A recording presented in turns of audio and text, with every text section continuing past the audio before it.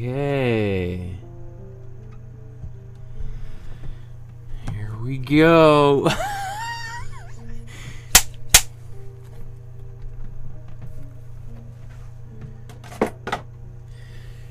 Good afternoon, everyone. My name is Michael Markowsky, and welcome to my studio.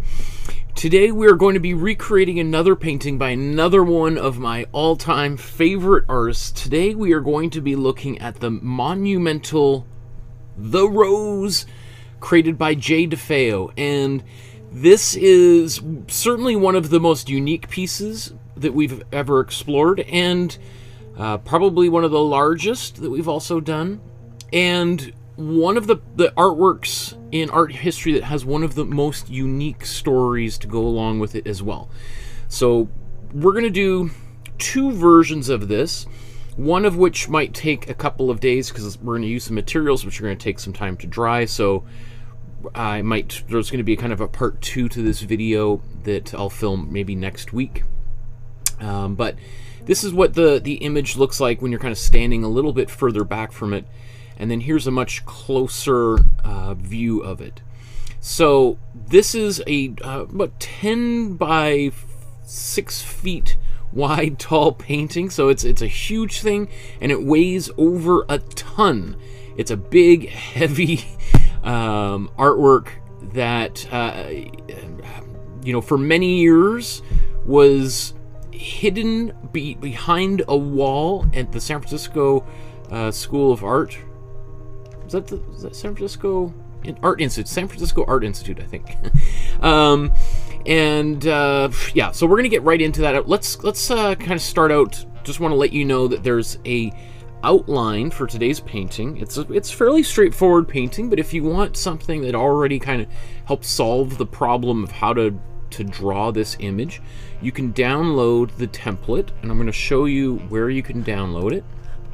So, if you click in the video description below, you'll see a link to a Dropbox folder. And if you scroll all the way down here, all the way down, we keep on going. We've done tons and tons of paintings by all sorts of different artists from all over the world, all genders, um, uh, and where are we? Here, Jay DeFeo.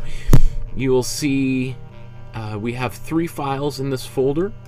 We have the original image, and then we have two versions of the outline. One's a JPEG and one's a PDF. So you can download those. I'm going to transfer it onto the canvas in just a moment. Before we get there, I want to let you know that there's a private Facebook group just for people like yourself. I want you to take a picture of the artwork that you create today, upload it to the Facebook group so that other people can be inspired by the art that you have created. And maybe you've decided you're like you're just going to watch the, the creation of this painting today, but you're going to work on something else. Take a photograph of that and upload it to the Facebook group. There's lots of people that are working on all sorts of different kinds of things, and it's an awesome community of like minded people, some of, of whom have just joined over the past week, and some people who've been with me for almost two years now. So, uh, like here's Heidi. Look at that awesome dog that she painted. Very cool. I love that Heidi. Looks so great. Right? That's not something that we did in class, but you know, applying some of the things that you can learn, you can certainly create some really cool stuff. Wow, Paula, great. Lorenzo, we did this Warhol banana about a year ago, and here's Lorenzo's version of the banana, and then a Jean-Michel Basquiat version uh, that he did with Warhol as a banana. So there's lots of cool stuff in there. I really encourage you to join that. Um, maybe just before I also move on to the outlining process, I, I want to let you know that I'm going to be showing a demonstration on how to use this Celluclay material by Activa. You can buy it at Michael's Art Supply. Uh, there's a, I think I put a link to the Amazon uh, page if you want to buy it from Amazon. Amazon, at least when I was checking, was maybe $15 more uh, than like it comes in let's see. So I got this kind of thing here this big bag and what's a four pound bag 1.8 kilograms. Um, this is what it, it looks like after you've used some of it and so I'm going to show you how to how to mix that into a material for today's episode so uh, we'll, we'll I'm going to do that demonstration in about 10 minutes, in, in case you're wondering. Uh, and then lastly, so this is the artist we're, we're about to talk about and whose art that we're going to recreate today is inspired from. We're going to get into her biography in about 25 minutes if you're keeping track of all of that. Okay, so in the meantime, let's download the template. I'm going to show you how to transfer it. You can do this with any image. You could take a picture from the newspaper and uh, transfer it onto canvas or onto watercolor paper, etc. So essentially, I've got here a 9 by 12 sized canvas and I've printed off the template you saw there from the Dropbox folder. Now, some some of these paintings I spend a little bit of time trying to make sure they're relatively straight on the canvas. This one, it doesn't really matter if it's a little bit crooked or not. Uh, really, the main thing is trying to get the, the center point as close to center, which maybe sounds straightforward, but, you know, I suppose some people could have it a little bit off to the side. It's up to you. It's up to you how you want to approach today's artwork. So, I'm going to tape this down. And then I've got carbon paper here. And this is a different kind of carbon paper than I've been using for a while because I eventually, finally, after a year and a half, used up all, uh, there was 10 sheets in that previous package because I use those sheets over and over and over and over again. You can, you can use them multiple times, so Um, actually, I usually use a a red pencil so that I can see what lines I've drawn. But since I want to extend right off of here, I'm just going to use a pencil. That way, I'm just going to circle. That's the where I begin. I usually try to do this ahead of time, but today's episode, I did something else ahead of time. So you'll see that that one was much more involved. So,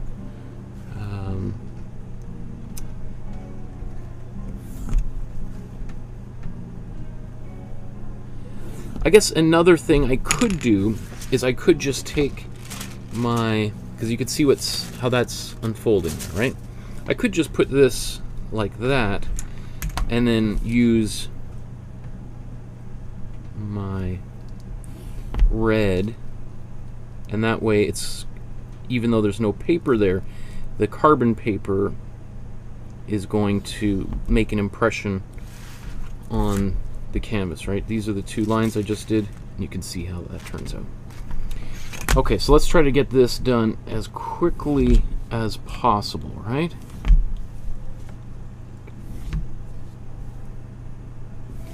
Today is is a bonus episode and we're using non-traditional materials which is one of the reasons why I'm doing this on a Saturday so that people who are normally just tuning in because they want to learn how to do acrylic painting.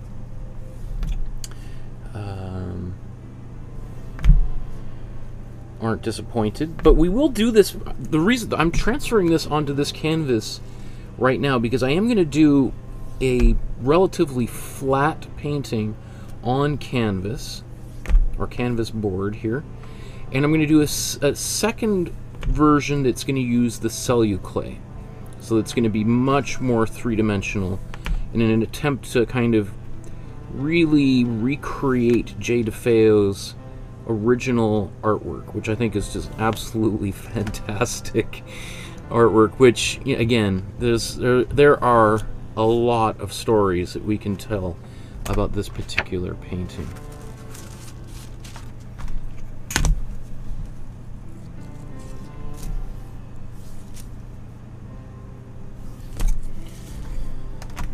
Okay, and then maybe, I'm just going to take this tape off from the top. Put it down there on the bottom so that I can move this down here. You always want to make sure you get it on the right way. Otherwise, you might end up putting a bunch of lines on the back side of the paper and nothing will show up on the canvas. So I've done that a few times throughout the course of my life. So I'm just telling you stuff that I've done, mistakes that I've made, and hopefully you can learn from them as well. Right? So here's our image. And you can see it's left a little, I've burnished a little bit because I was resting my hand on there. We're going to paint all over the entire thing anyway, so I'm not too concerned about that. Okay, so I'm going to move my carbon paper out of the way. These you can save, you can recycle them. And let's just move all of our pencils and tape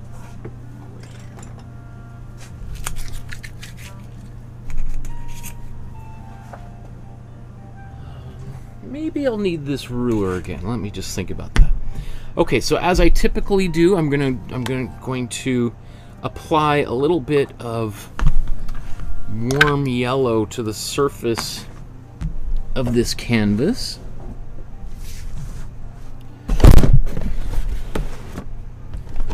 Wow, lots of people in the chat. That's awesome.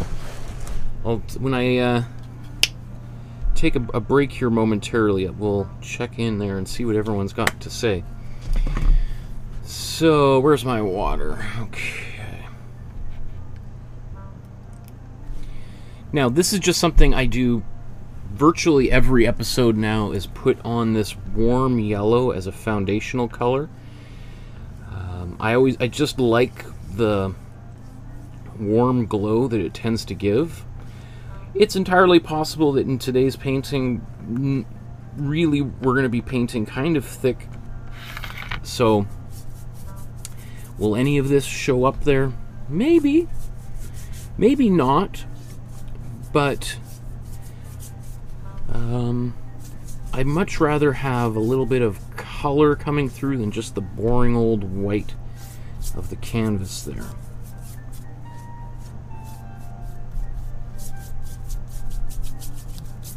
It's also going to help keep that uh, the graphite or carbon charcoal paper, whichever kind of material you've used for transferring from smudging into later colors later on.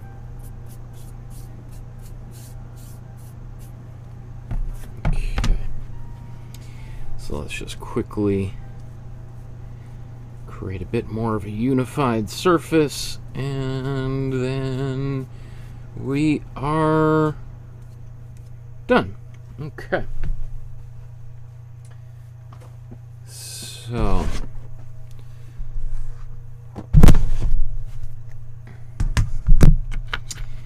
that may or may not get used again. I always just save those kind of things. There's no if it just sits there and slowly dries, that's okay with me. So, I'm going to let this dry. While that's drying, I'm going to... Actually, let's... Should we talk about... What should we do next? Should we talk about Jay's biography? I think I need to take a sip of tea.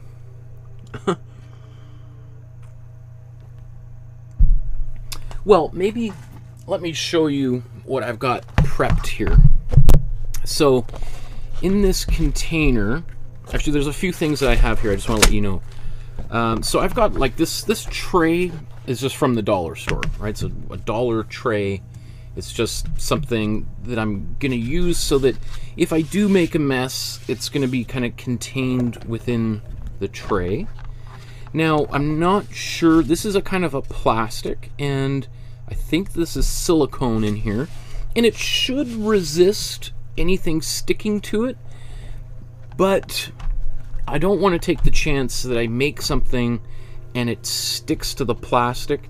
So here is a silicone, um, uh, like uh, placemat here. We got these for our daughter originally, but we haven't really needed to use them, so I haven't. I've taken them for my my artwork.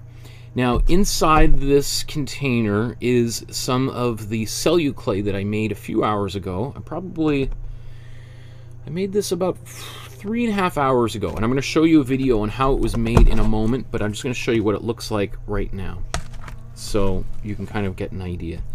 So right now, it's like a big blob of wet, um, of wet paper mache, essentially.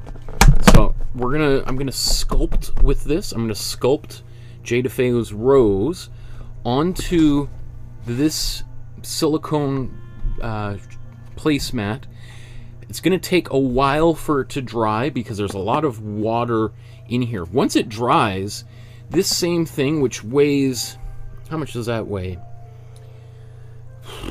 Wish I had a scale down here, but this this weighs probably about as much as a as a laptop, you know, kind of an older laptop. Kind of, it's got some weight to it. Maybe like a carton of milk, a two liter carton of milk, right?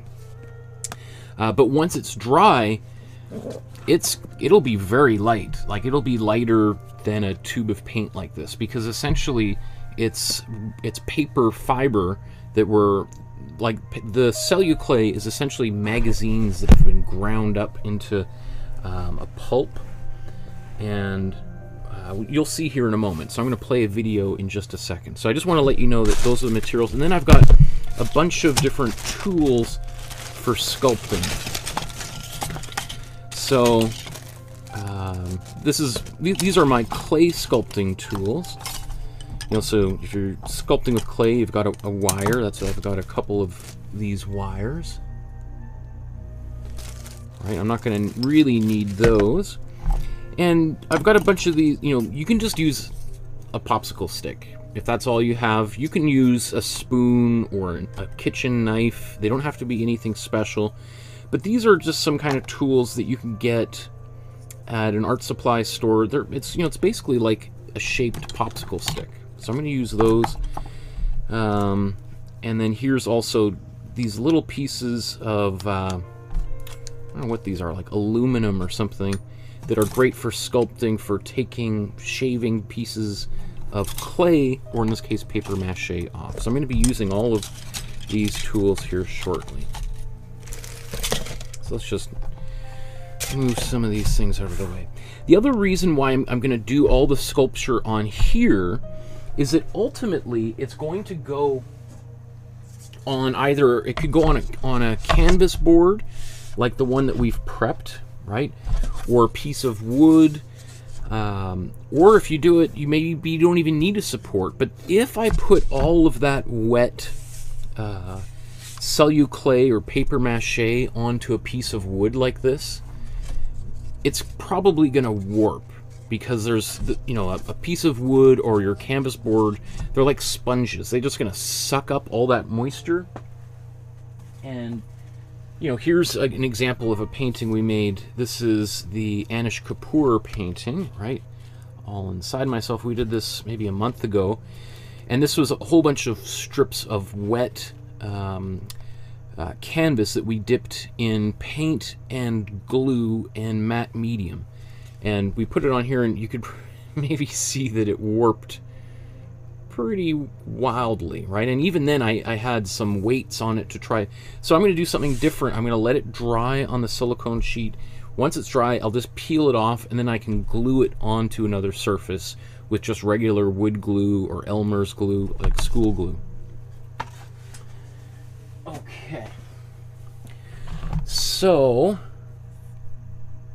yeah, let's let's talk about Jay's biography right now because then I'll, i am afraid I'll get too far into the the uh, the piece and then I'll we'll be like an hour in. So I, I just want to to introduce this.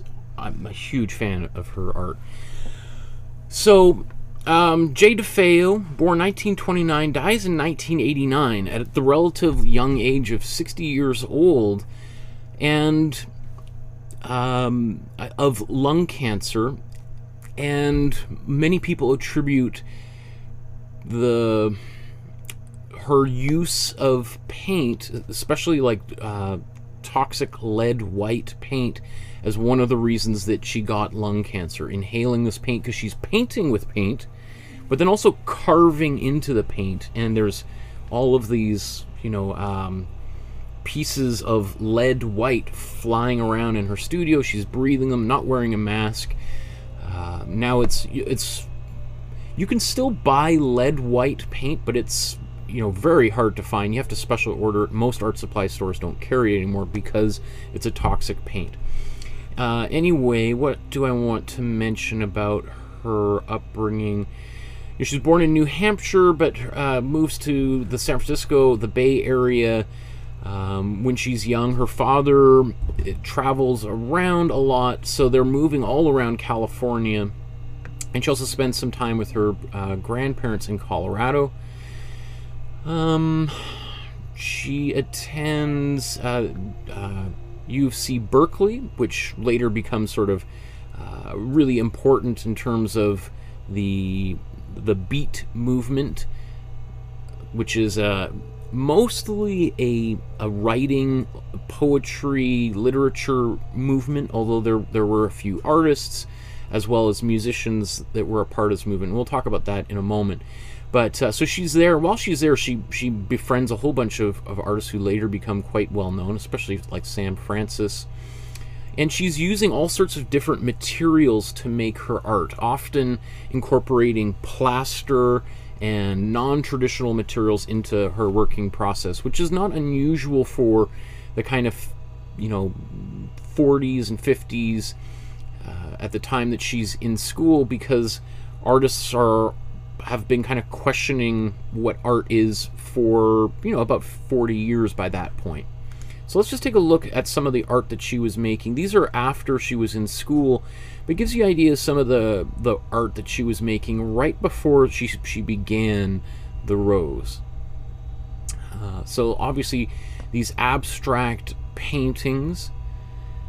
Uh, the Jewel, this one I think is at the LA County Museum of Art, and of course the Rose, which is at the Whitney Museum of Art now on permanent display.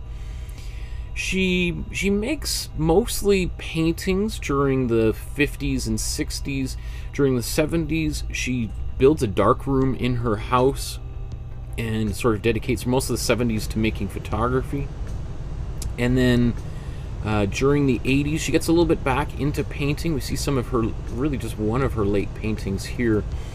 Uh, if you're really interested, there is the Jay DeFeo Foundation, her own uh, a website dedicated to her legacy, and there's there's much more information on all of her artworks here. Uh, it looks like San Francisco Museum of Art's having an exhibition of, on her photographs. That's really cool. That, that makes me really excited um, to see that. So the rose, again, this this painting is on permanent display at the Whitney Museum last time I saw it, though, it was displayed like this, as almost like an altarpiece, which is really, you know, sort of in this inset um, space in the gallery in a kind of a semi-darkened room, and at the end of a kind of a, a kind of a hallway when you, you, you approach it, and so it has this kind of mystical quality. Whereas here we see it's kind of well lit. I think I prefer the, the, the other way that it's been exhibited. Um, what else do I want to mention here about her biography? So, her studio, uh, 2322 Fillmore Street, was this large loft space in San Francisco where she worked on The Rose from, I think, 1958 to 66.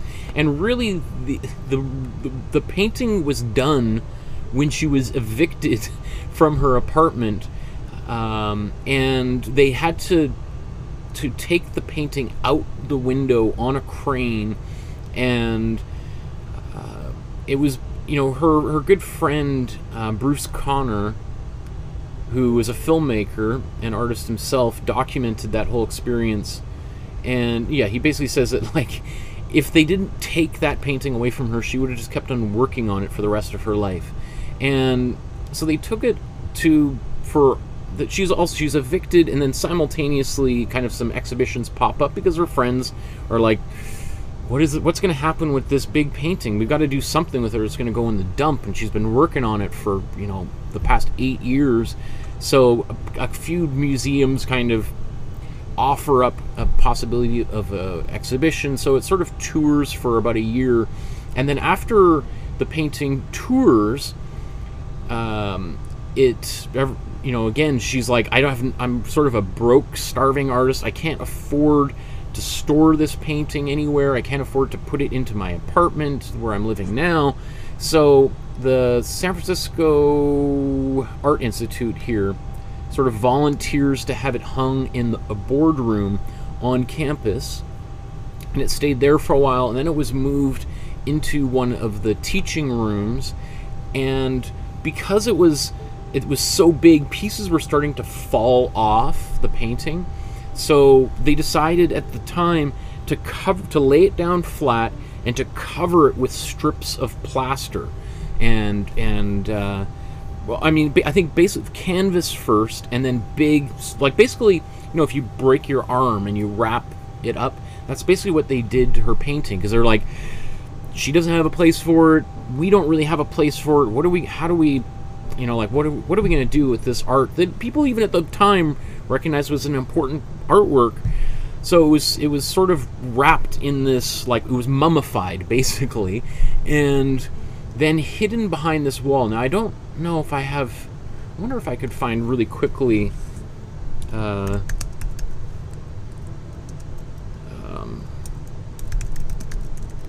There's a photo of it. There's video of this. Let me see if we can find a photo real quick. Should have thought of that earlier. Um, You can see her her posing with it. But it is really bizarre. Like if we see uh, any photos of it in the school behind the wall, the wall kind of goes halfway up in front of, and there's this little bit of the painting sticking up. Um, so the the painting stays there for 25 years, and not until six years after she passes away does some curators from the Whitney Museum of Art they're putting together an exhibition on art of the by the Beat generation. Uh, uh, we're going to look at here in a moment, and they decide, you know, and they're this is this painting is sort of known as like a seminal artwork from that period of time, from that group of artists, writers, musicians whatever happened to that painting? People like, oh, it's it's stuck behind a wall covered in plaster in an art school in San Francisco. And so these curators from New York were like, really? Could we? Is there a way that we could get that out? Is there? Could we restore it? What does it look like? It's been. So they go and they they again. There's a video on YouTube that shows them disassembling the wall, pulling it out, pulling the plaster off, restoring it. It takes them a while, and by the end they have the artwork. They've managed to rescue it. And it's a shame that Jay DeFeo never got to see the painting again after it was mummified in uh, the late 1960s but um, at least we have it now on display for future generations. And this painting is is is seen as not only a seminal work of the beat generation um, and of uh, of, of Bay Area art, but also seen as, as an important moment in feminist art history and feminism in general. Uh, the composition and this kind of monumental artwork. Generally, women, especially at, at this point, were were making much smaller artworks, whereas men in the 1940s and 50s were like Jackson Pollock, Willem de Kooning are making these gigantic you know 20 foot long paintings that are um, that are you know just very uh, how do you call it? Uh, ridiculous like in their size and like oozing masculinity. And i think Jay DeFeo is sort of she's using a scale. It's not nearly as big as some of those other paintings by by some of those abstract expressionist painters, but it certainly uh, has some of the monumental qualities that we associate with some of those paintings by those very hard drinking, tough guys from that same generation. Um, and and I think it, it definitely gave other women permission to do bigger artwork, to to to not just be, you know, little wallflowers and hide in the corner. That women artists could do monumental artwork and and compete with the guys and play the same game as well. So I, I have a great deal of respect for her for that alone, right? Okay, so there's more I want to talk about, but I think what I want to do now is I want to show, and there's tons of comments in here.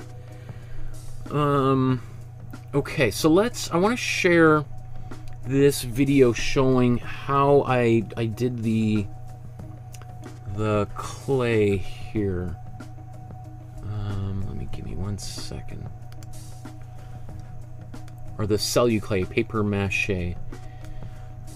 So, I'm going to play this and talk over it while it's happening here. So they just recorded this earlier today.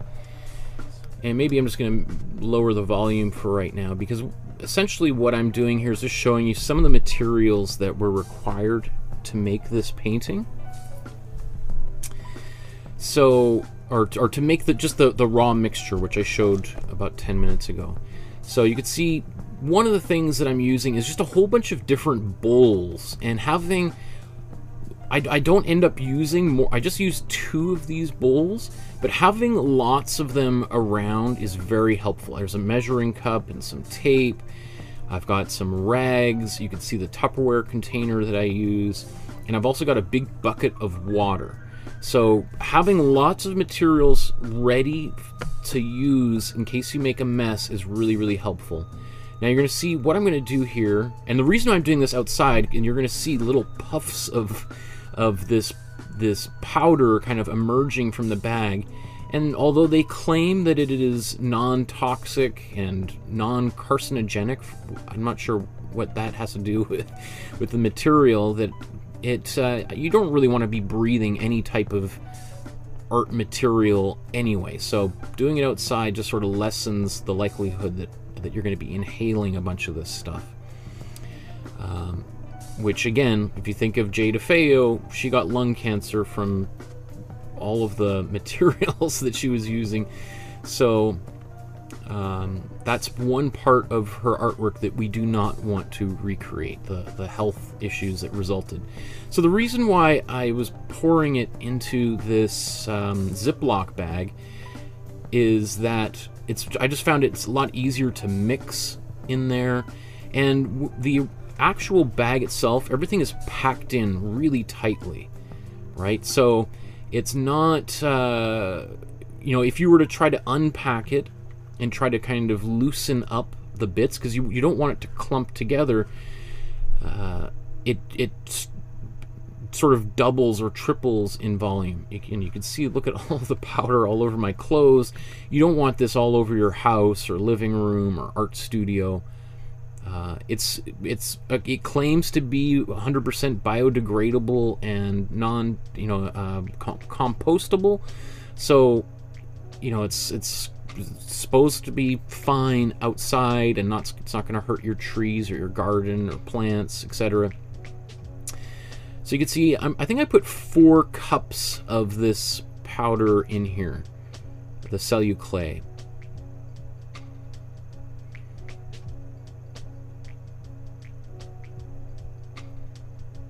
Okay, I think I'm just to skip forward a little bit.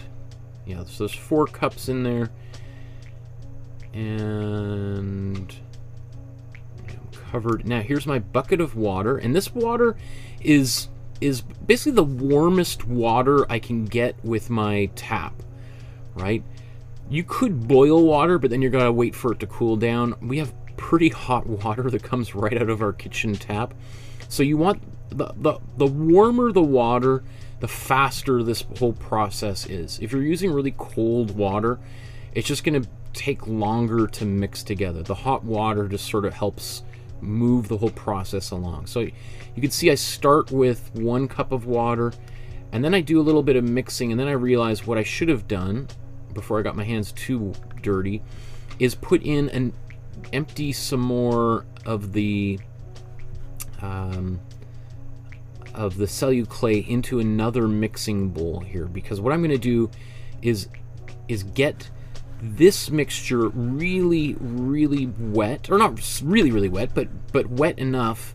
You want it to be kind of soaking or over wet, as it's called, and then you want to add more of the the celluclay back into the mixture. I know it sort of sounds a little bit backwards. Most people would think of keeping it really, really dry and just adding water to it, but this material is the exception. You know, it's unlike making uh, dough you want to start with really, really wet celluclay and then you adding dry celluclay. And you can see here I'm just breaking it up because the I want I don't really want clumps in here, right? So if the more refined powder it is, the easier it is.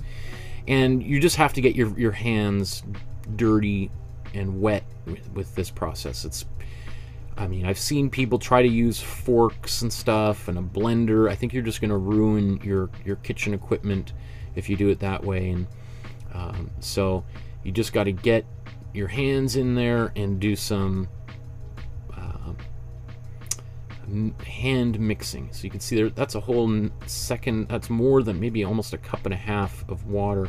And I'm to, I think that's, that might be all the water I put in at this stage. And then, you know, this video is 19 minutes long and we're to skip through here because you're to see, I'm just massaging and massaging and massaging. And then I take some of this dry celluclay and then mix it back in again. Now, you can, there's lots of different, I mean, this is a very, very, um, what would you call it? Very, uh, adaptable type of material and you can do things with it when it's really wet. You can make your own paper using this mixture if it's really wet. And there's lots of videos on YouTube showing how to make your own paper. In fact, Activa um, has their you know videos on their own website showing how to use this. So, but it's I'm just squeezing it out, trying to get as many lumps out as possible. And I'm just going to keep on going here because really I'm just keep on adding more and more and more. And also, some people might find it easier to stand up and use your fist to mix like this. It's probably the easiest to do just standing up. I was just sitting down for um, the purposes of filming. So I'm just going to scroll right through here. Just keep on adding more and more and more. And you'd be surprised at how much of this mixture will just keep on taking more um, uh, more and more of that paper fiber. So I'm going to put it in there and then close it up. And then just the next few minutes here is just me doing a quick cleanup. And I'm not going to spend too much time on that, but it is important that you clean up before moving on because this material will solidify into like it will turn into like a rock like substance once it's dry. And if you're using a, a bowl you know it's potentially going to stick to the inside of your bowl and ruin the bowl. And obviously you've got your hands covered in material. And uh, if you, some people i've seen will mix that will continue mixing more and more celluclay dry celluclay in there for like an hour right? This is basically just 15 minutes of mixing but the I, what I just do is I just take some of the same warm water and just slowly rub it off your hands, right? Um, you can use a cloth to do this, but it's the more your hands sort of soak back in the water, the easier it just falls off. Because if you just start sculpting with it, you're going to have these areas that are going to stick to your hands, going to stick to any hair on your forearms or fingers or knuckles or that kind of stuff. And it is like painful to take off. So wash your hands before all of that happens. And you see me just wiping it off on the bowl. And I'm just going to scroll through here. See it cleaning up the bowl. And then I'm going to clean the other bowl.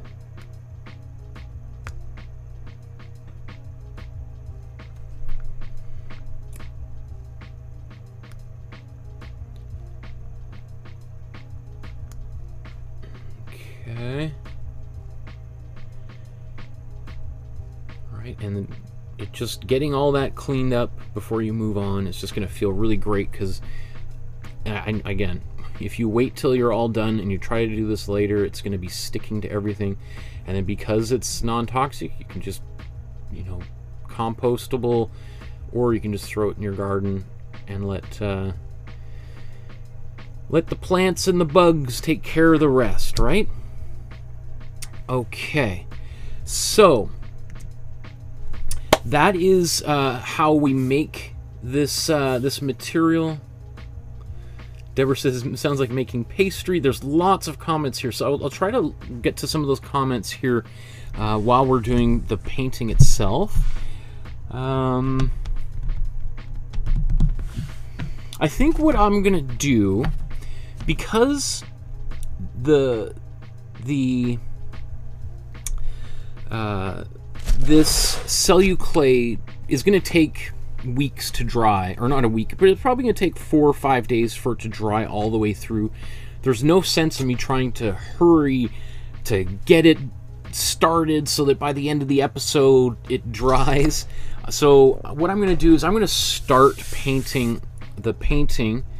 And then when I get pretty close to that being done, I'm going to start the sculpture. So um, if you're if you just want to tune in for the sculpture, go have a sandwich, come back and join us for the sculpting.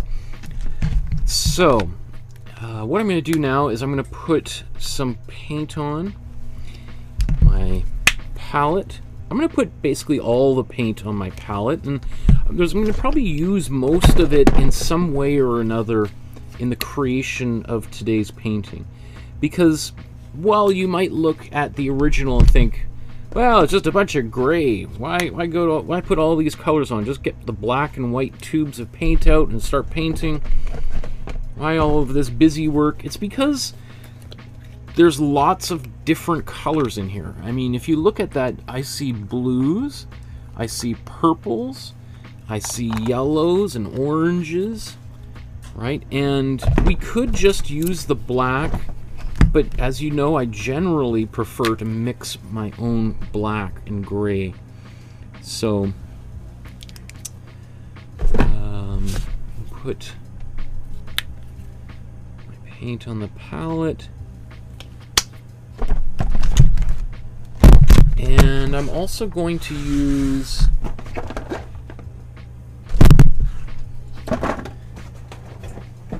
some heavy gel.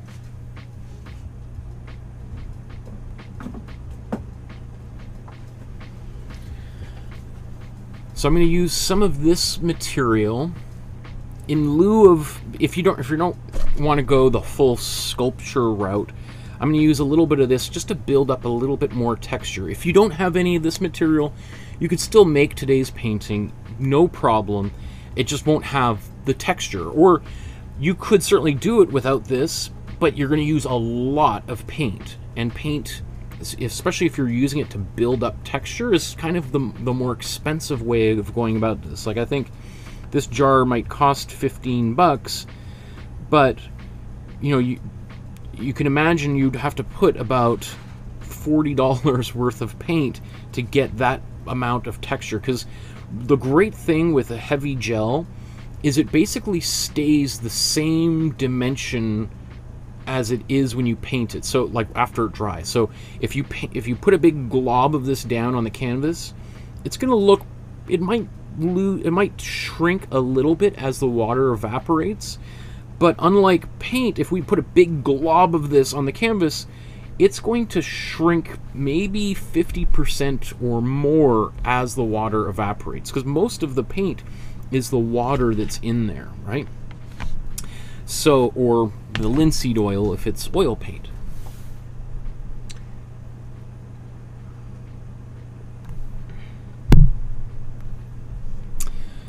Um, Lolly says, "Is uh, is celluclay like paper dust? So it's just like paper mache?" Yes. In fact, you can make your own version of celluclay. You could grind up paper, uh, uh, and then, but the celluclay is not only just the paper, but it's also got like an adhesive in it, which um, basically all you need to do is just add water to it. So it's often used in elementary schools um, because it's non toxic, very easy to use, and relatively easy to clean up. relatively easy to clean up. You know, if you start getting it all over your clothes, you're kind of out of luck. Get it all over the floor, you're kind of. I mean, you can you can scrape it and you can scrub it off, but it's uh, again there's an adhesive in there, so it's just gonna you're gonna have to use a lot of that elbow grease to get it off. So that's why you want to try to keep a little bit of uh, an eye on where the mess is going. Okay, so let's just look at this painting and think about how to proceed with the recreation of it. Um, so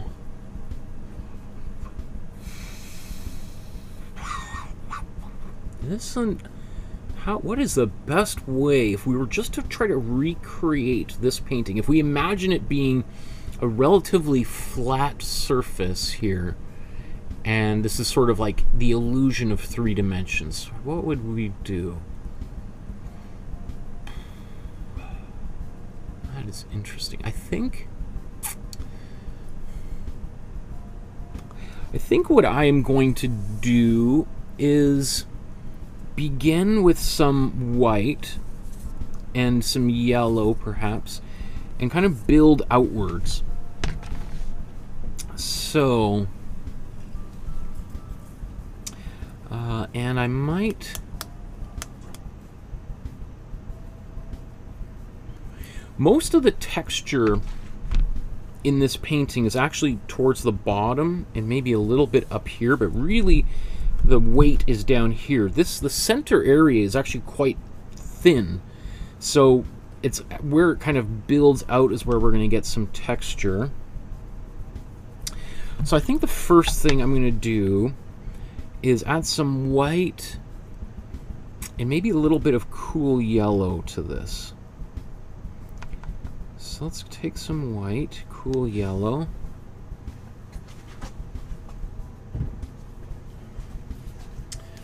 I'm going to add a bit of matte medium here. Matte medium is basically just clear acrylic paint.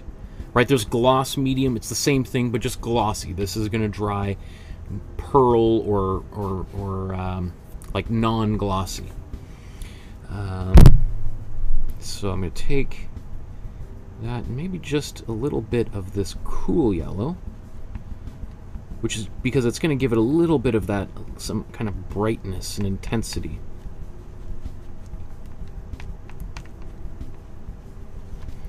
The matte medium is going to make it just a little bit more transparent, so we still see some of the pencil lines coming through and the warm color as well, the warm yellow.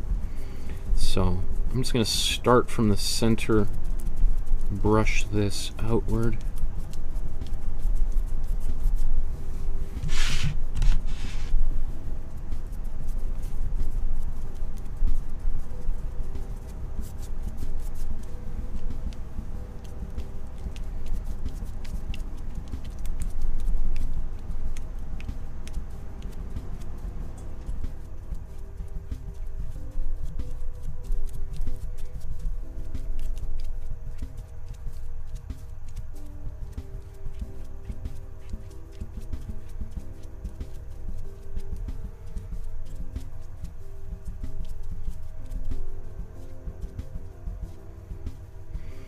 And I'll probably end up using a palette knife as well. So we'll just start with this, like that. Um, I'll let that dry. Let's just get as much of that paint off.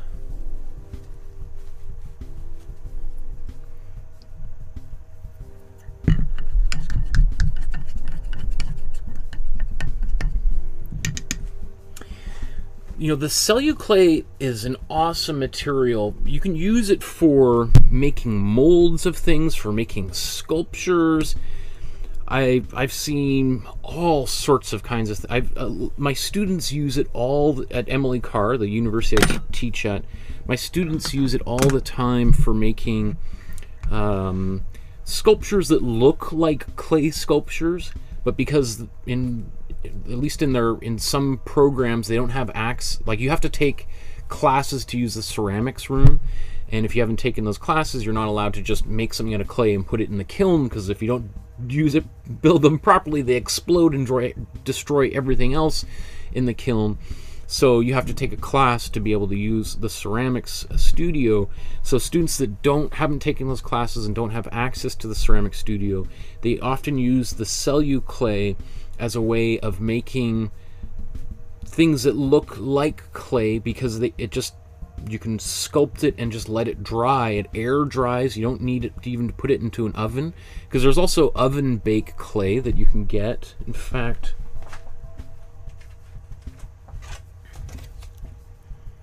this is another. I, I bought this because I was thinking maybe of doing today's episode using this type of stuff. This is um, this is a clay that will air dry as well. And so you can also use this. You don't have to put this in the oven, I don't think. So it kind of dries to like a stone-like kind of um, uh, finish. But it's it's it's kind of ultimately more expensive. Like I think you know, the, the big bag of the Celluclay. This is about half of the bag. I think this was like 40 bucks at Michael's, $40 Canadian, which is like $2 American. Or just kidding, it's it's like 20 $30 American. And then this is like $17, but basically that's how much clay you're going to get. With this with that bag of you clay, you would have for $40, you've you've got like enough to make a big, like literally a solid block like that big. Like it, it expands um, quite a lot. So anyway, um,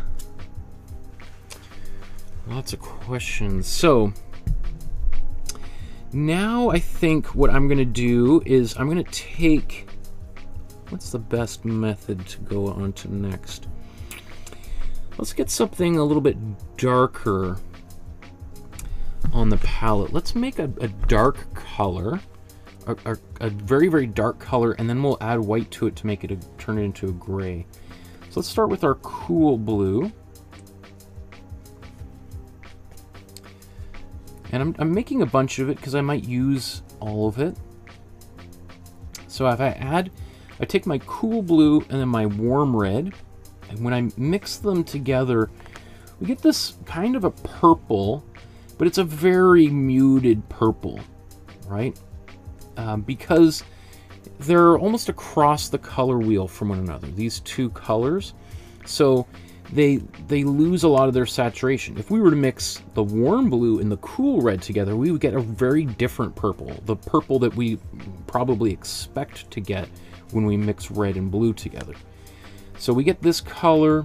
I'm going to add some cool yellow to it and that's going to help reduce the saturation even more. Let's get a bit more of that cool yellow.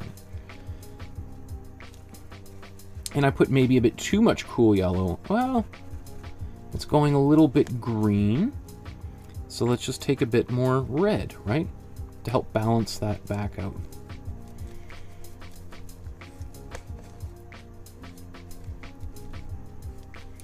And now we've got a really nice gray.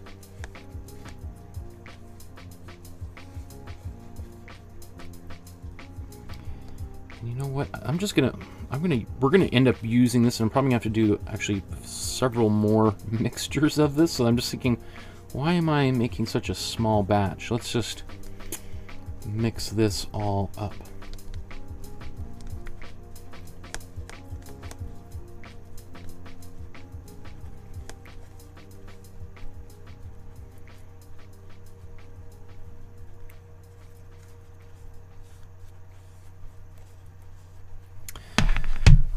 Okay, so now I'm going to add my heavy gel. Huh. thought I used... I must have one of these open already somewhere, don't I? Before I... Even though I just opened it.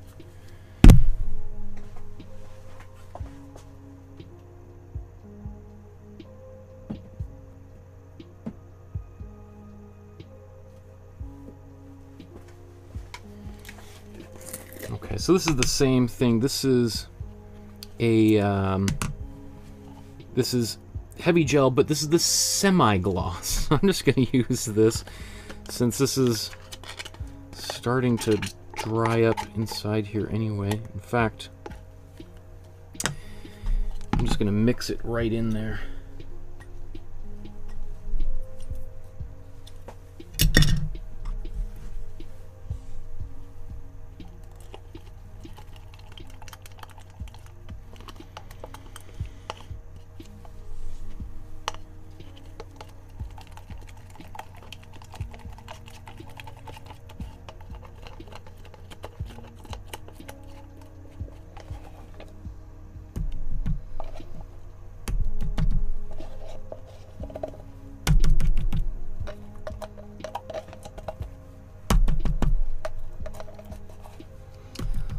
Just going to build up this surface here.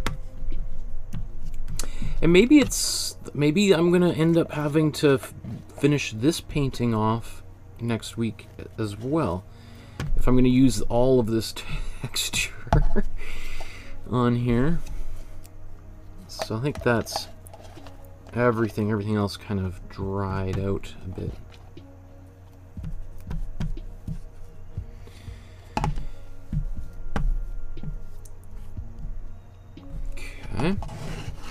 That's the That's my semi-gloss gel.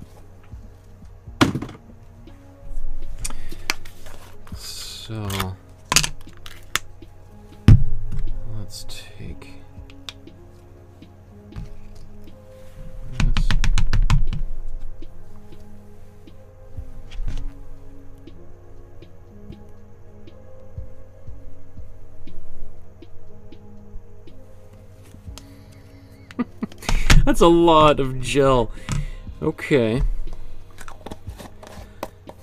So that's, you know, it, it was maybe 15% of all of the gel that was in there, right? That's a a good helping of gel. And I'm going to mix this in. Now, if if I just leave it like this, it's going to dry clear. And I, even though I'm mixing paint into it, I have a feeling if I just put this on the canvas like this, that it's going to be kind of like a foggy kind of color. It's not going to be maybe as dark as I want.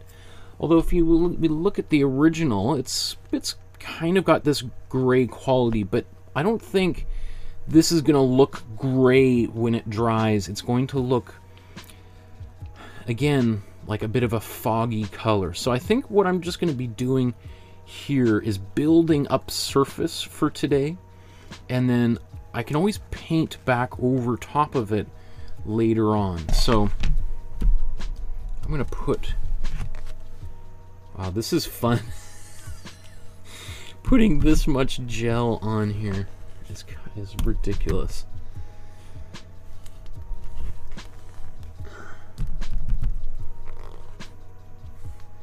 So I'm not going to be worried about getting the color right. Get a little bit of blue into this mixture, that's all right.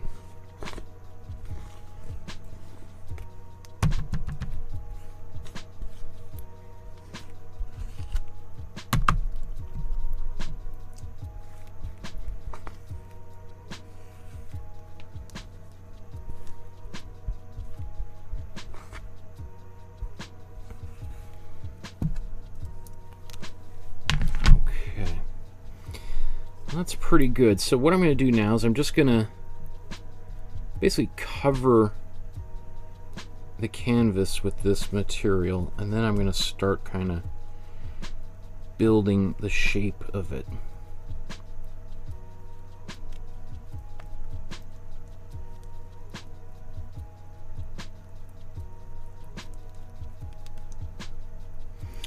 So as I'm doing this, I'm realizing, you know what? I'm going to lose all my pencil lines. I, th I thought I might. Um,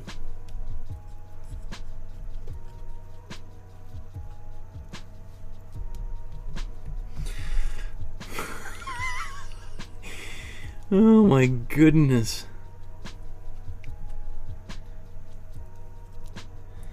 I gotta say, like, as as kind of weird as this looks, it is like super fun. Like just the texture on here.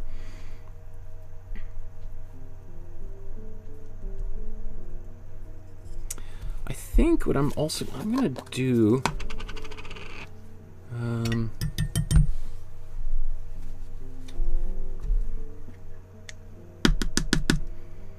so this is gonna dry clear.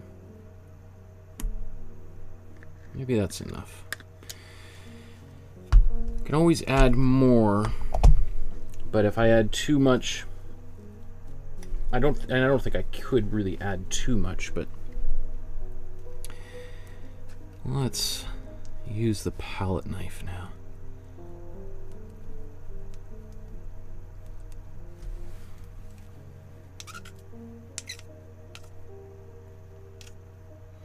Originally I was going to do this on Tuesday, and I thought this is getting so far out that it would probably alienate a bunch of people. So it's like, this is our bonus episode. Let's do it on a non traditional time and day of the week, and that way if I go nuts, it's... See, can you, where's my center of the canvas? Right there.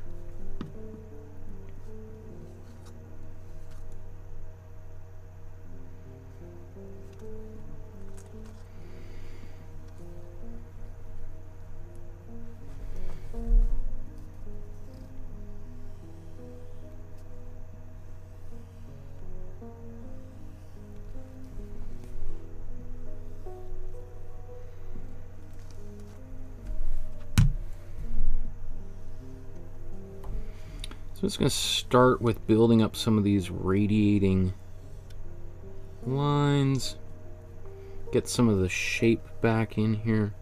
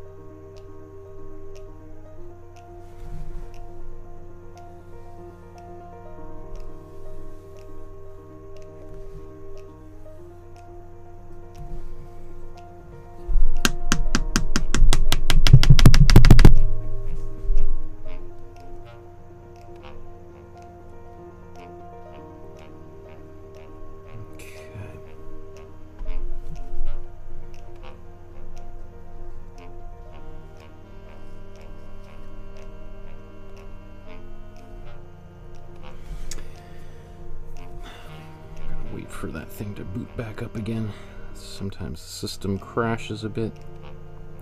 So, you know, one of the things that we see in the original is how the center is is really well refined and then as it gets out it gets sort of crumbly and gross and goopy so that poses a bit of a challenge right? I was originally planning...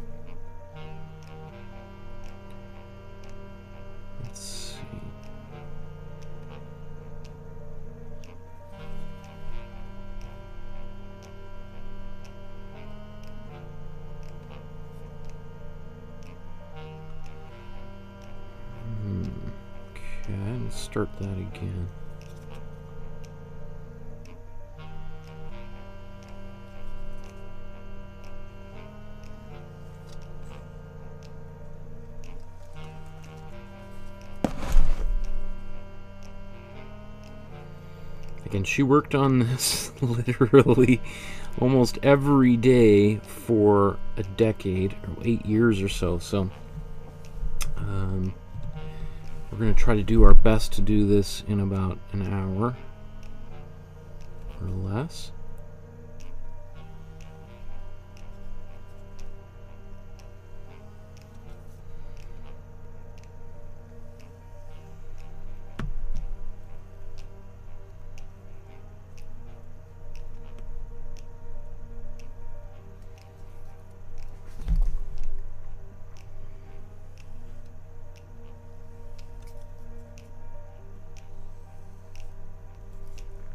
So also, you know, once this dries, you can kind of sculpt it. You could sand it, cut into it.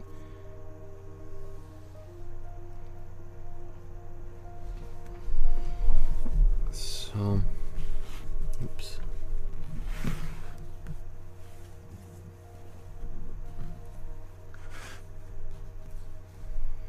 So you can see what I'm doing with my palette knife. Maybe I'll get another point of view altogether here is putting the palette knife on a side like this.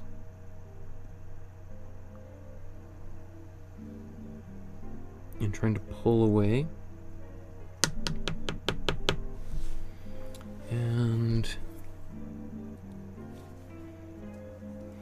so basically as I do that I'm pulling paint off.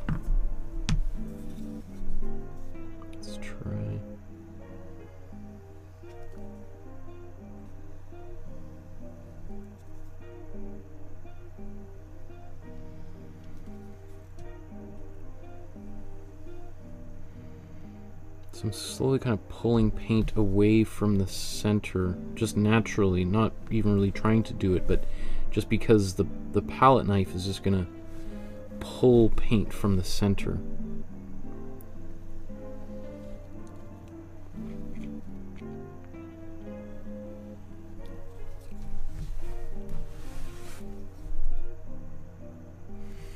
Hmm, and I'm, I think my center wants to be here, so we're probably going to do this a few times as we go around this shape.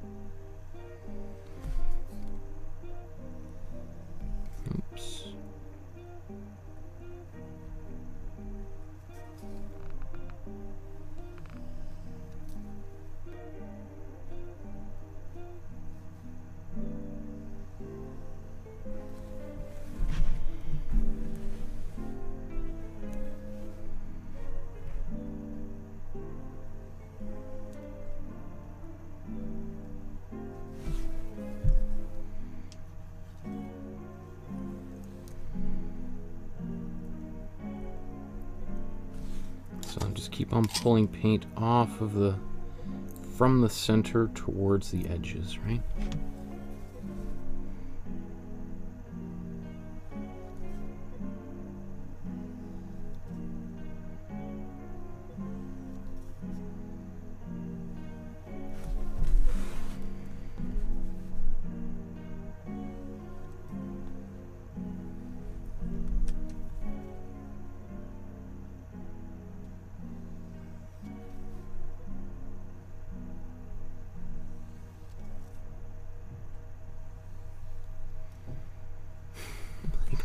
Center keeps shifting. That's where I want to be there, right?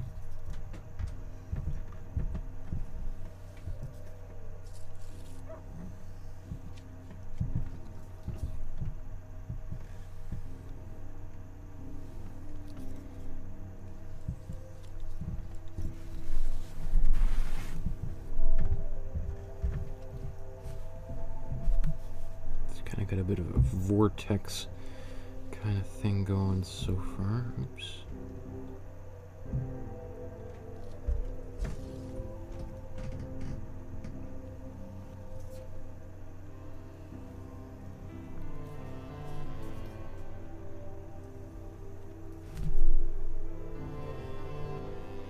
So all that white that I put down there at the beginning, that's kind of gone, obviously.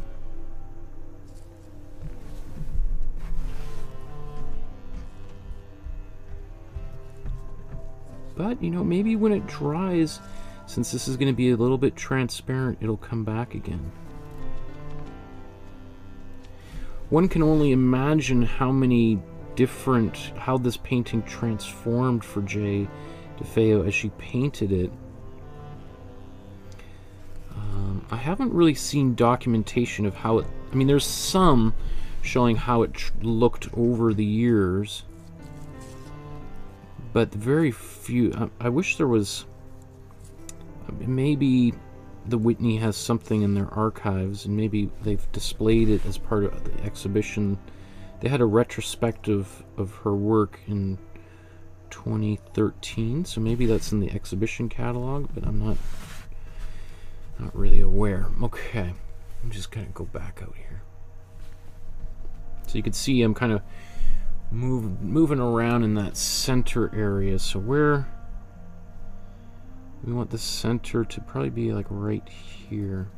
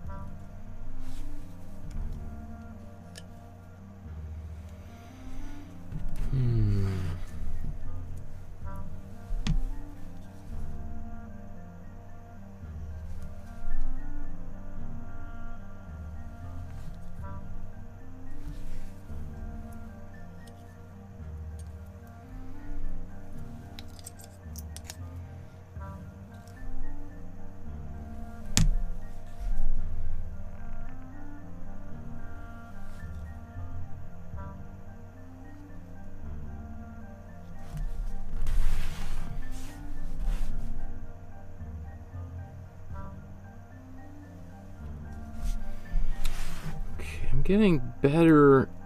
You know, this is a unusual way of working, so it's it's hard to you know. I'm trying to. It's like trying to master something of that, which there's no real uh, instruction manual for. So.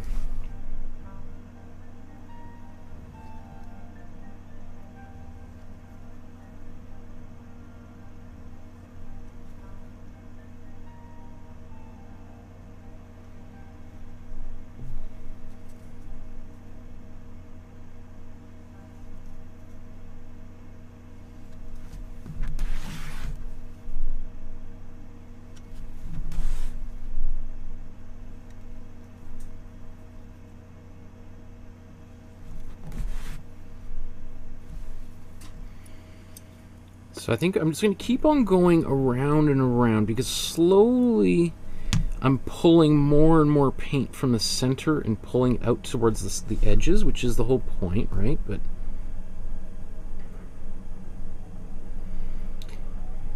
um, let's just look at the original side by side here.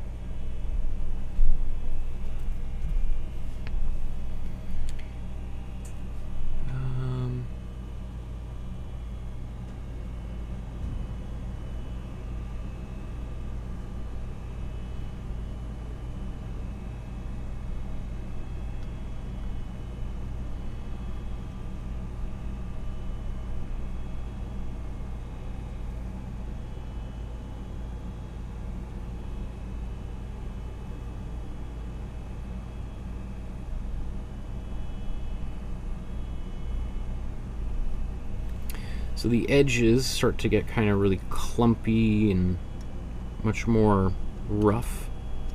So I'm going to build that up a bit right now.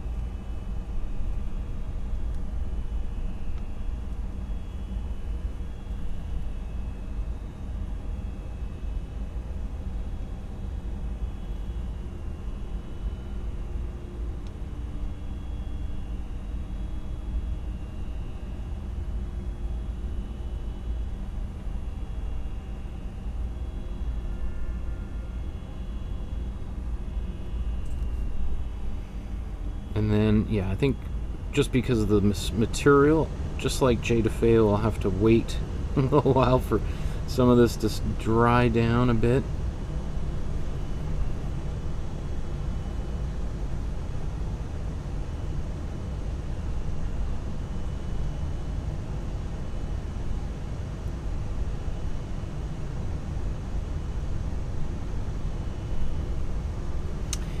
And actually,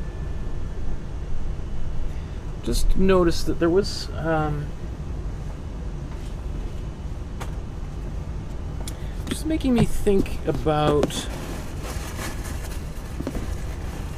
things that I've thrown out that maybe I could mix that into my paint.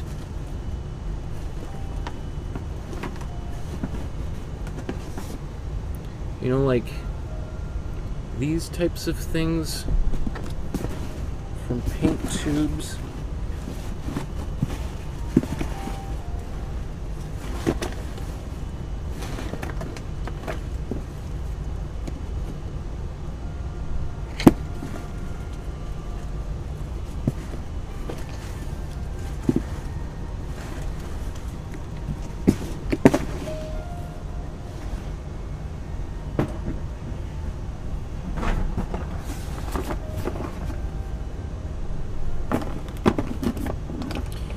to help build up this texture here.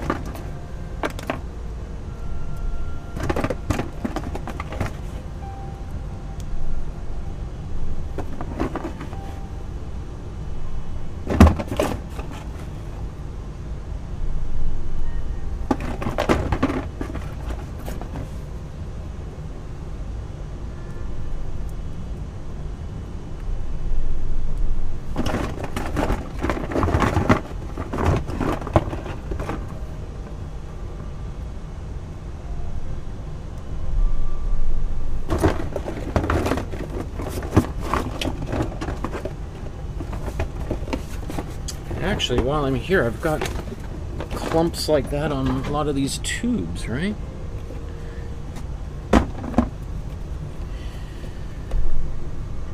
So as an artist, this is what you got to do. You got to be creative with your materials. I mean, I could just use more and more um, uh, pieces, or more and more of my heavy matte gel. But since I just take these things and throw them into the garbage anyway, why not use them for something? I knew that there was. Every time I throw those things in the garbage, I've been thinking to myself, there's got to be a use for these things. Like,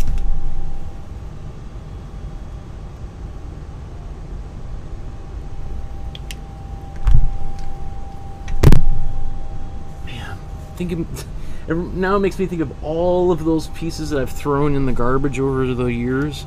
How I, right now, I could actually use them.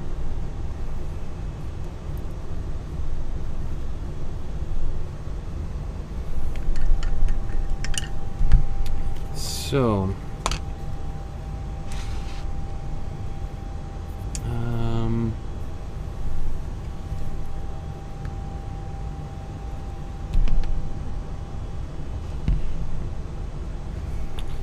just going to take the heavy gel out of the tube.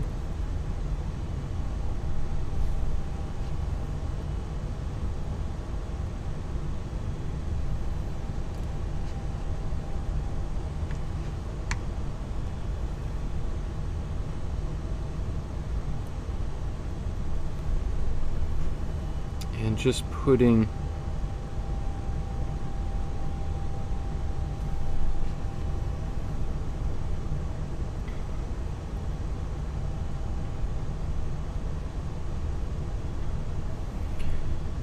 some of it over top to kind of integrate it, hide it, and also hopefully to help glue it into the surface here.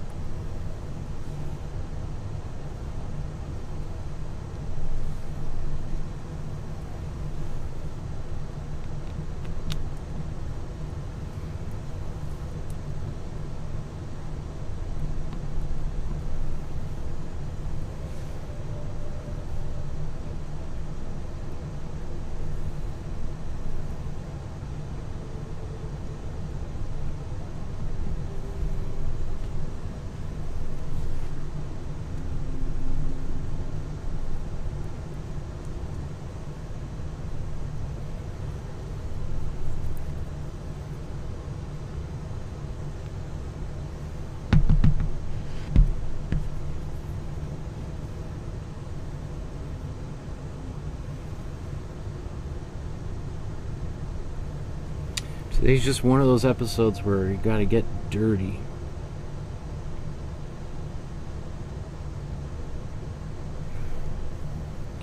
And just seeing the texture starting to build up like this is just makes me so excited.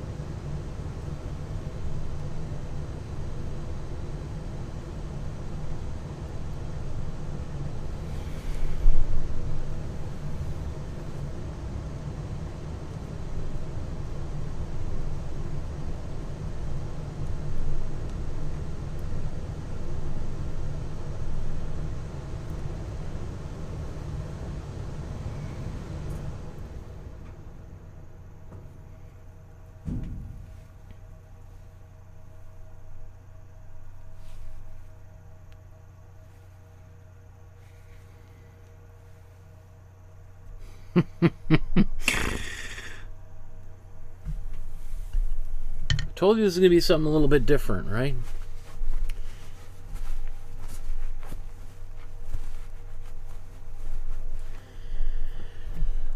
Okay. Now.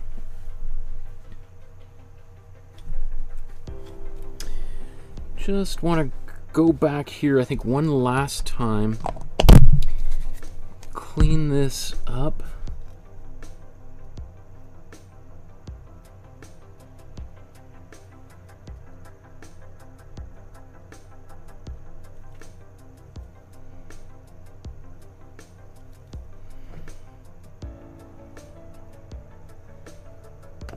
I think I could do a lot more of this type of a thing.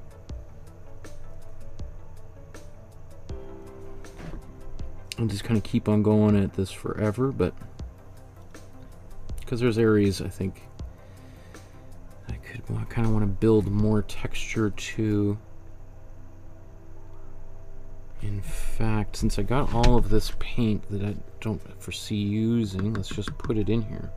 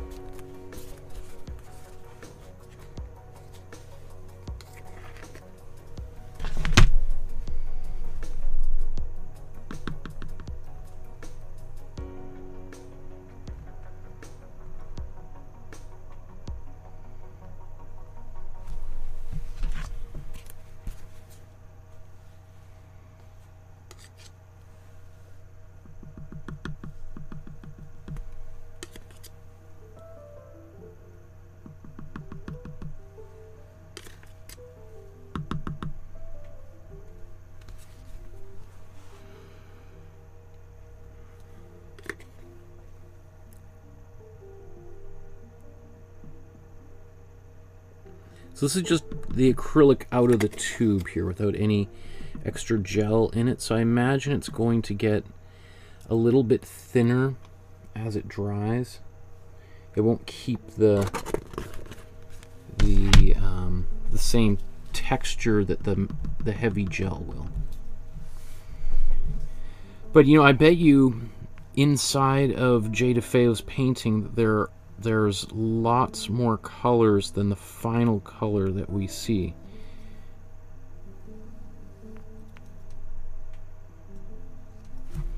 So kind of using what the available paint that we have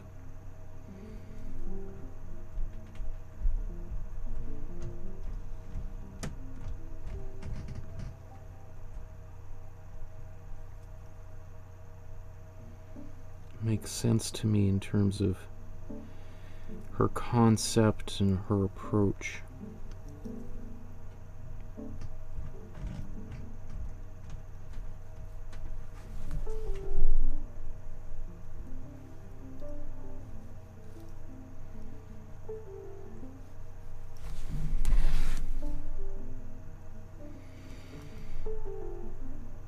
You know, I mean, I like, I really actually like the way that looks it does make me kind of want to think about doing more of that. But I think what I'll rather than just wasting a bunch of paint to building up these surfaces, I'll I'll do that when I do the the part two to this particular painting.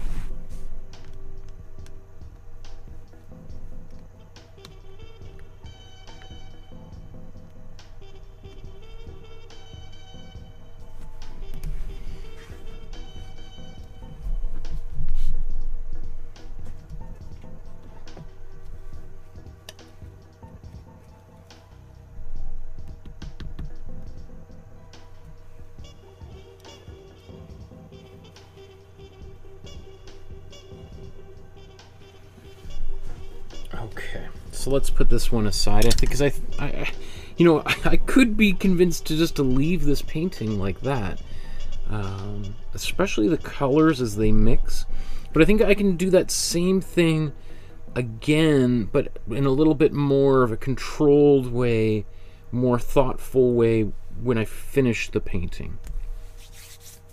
So you know, just looking at these two side by side you know, when this is all dry, I'll go back in and paint white in here, and then we'll darken it towards the edges. Some of this yellow, which is working right now, again, I don't mind it, but I think it's just a little bit um, quite different than the original. Okay.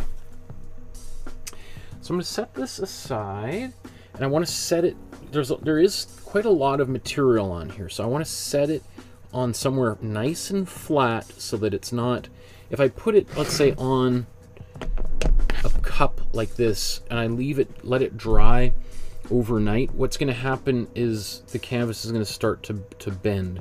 Same sort of thing if I was to put them like that to dry. When I come back in the morning, it's probably going to have sagged because the canvas and the board inside the canvas are soaking the moisture out of the paint. There's, yes, there's moisture evaporating into the air, but there's also moisture that's being sucked down into the support. And so you really want to leave it on a flat surface to dry. Okay. So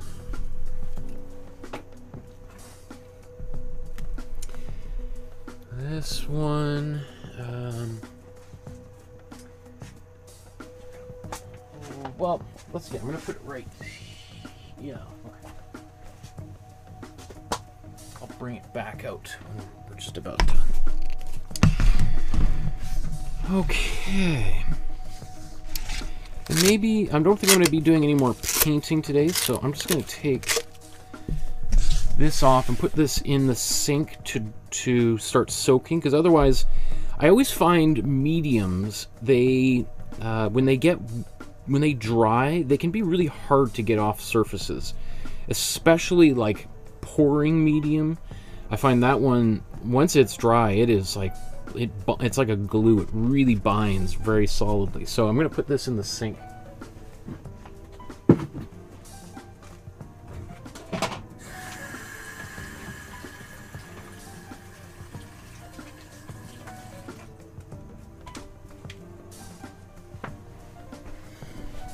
Okay. There's so many so many comments. I just see the last one at the end here. Heidi says, uh, "Hi Michael. Um, this could be an engaging project with kids. Is Edie watching? Edie's having her nap right now. That's generally why the episodes happen when they do. Is because that's when my daughter is asleep, so that uh, uh, I can get a bunch of work done while while she's uh, occupied."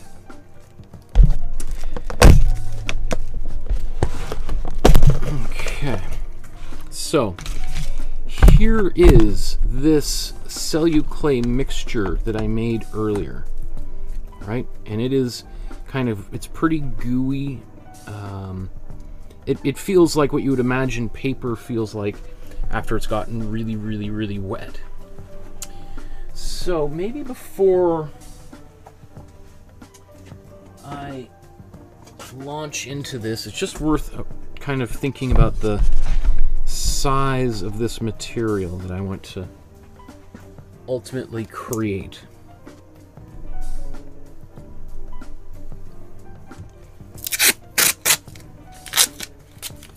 So I'm just, like this is a 9 by 12 sized board. I might make it just a little bit bigger. That way I can always trim some of it off if I I want to. Because the celluclay, you know, it's going to turn into like a very rigid shape.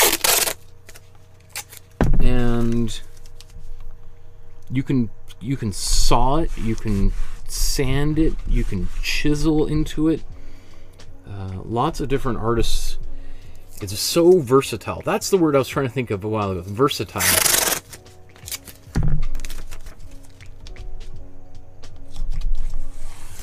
Can see I'm just expanding a little bit beyond the the size of the ultimate the canvas that it'll be. And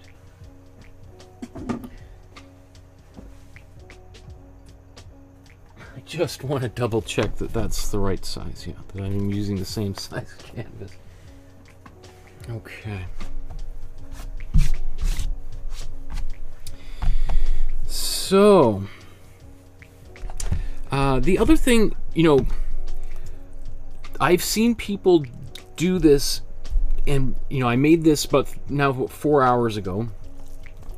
I've seen people put it in the refrigerator and let it dry in the refrigerator or be, or some if you keep it in a Tupperware container or you've got a piece of cellophane um, saran wrap over top of it it it's doesn't allow it to dry so much as what's happening is the moisture that's inside is moving throughout the entire shape and especially any little clumps of the celluclay that uh, that were dry. They're you know like dry kind of parts. The water is sort of just seeping through every part of it and getting to those more clumpy areas. So really what I'm doing just right now, and you know, I guess with this particular painting, I don't really have to to worry about it being really I don't in fact some of the clumps are right there in the original painting, right? So, uh, in some ways, having a clumpy mixture works well. But if you wanted to use this to create something else, you want to get maybe a really smooth surface, and you could make, there's, I mean, as I said, tons of different things. Like, basically, I wouldn't worry too much about getting the smoothest surface. I'd wait for it to dry, and then you can use sandpaper to really get a better um, finish surface to it.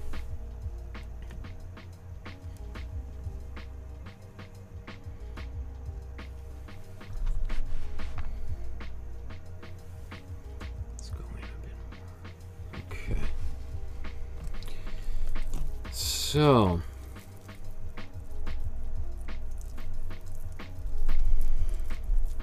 Um, I guess let's just spread this all out. I mean, just the sound of this.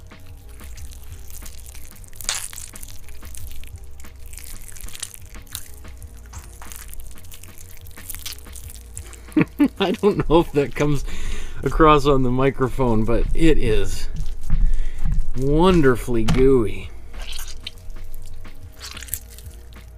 Oh my goodness. Definitely, if you were in a room full of little kids, there would be lots of laughter right now.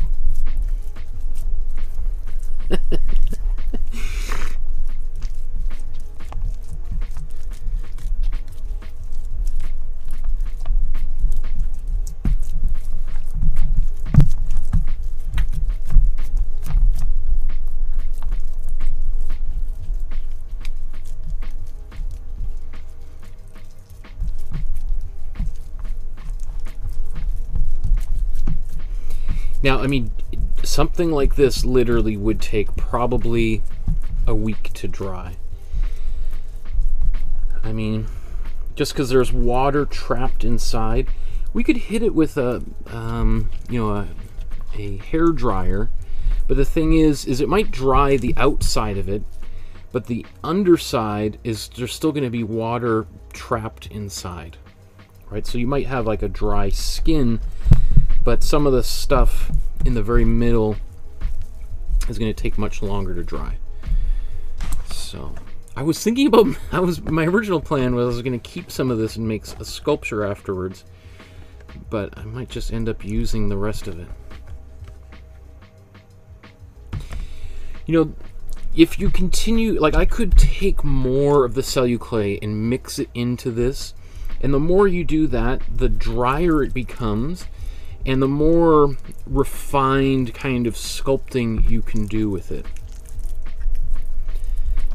Um, people sculpt faces, all that kind of stuff with it. I'm not going to do that. Let's just think this is our middle.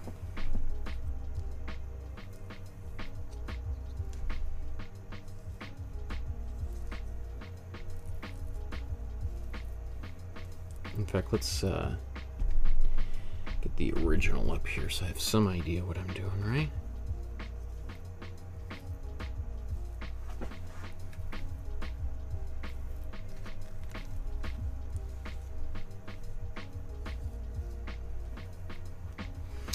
Okay, so currently the majority of the it's it's very even. Whereas really this is gonna we need to kind of dip that down and we want more of this material out towards the bottom and the edges.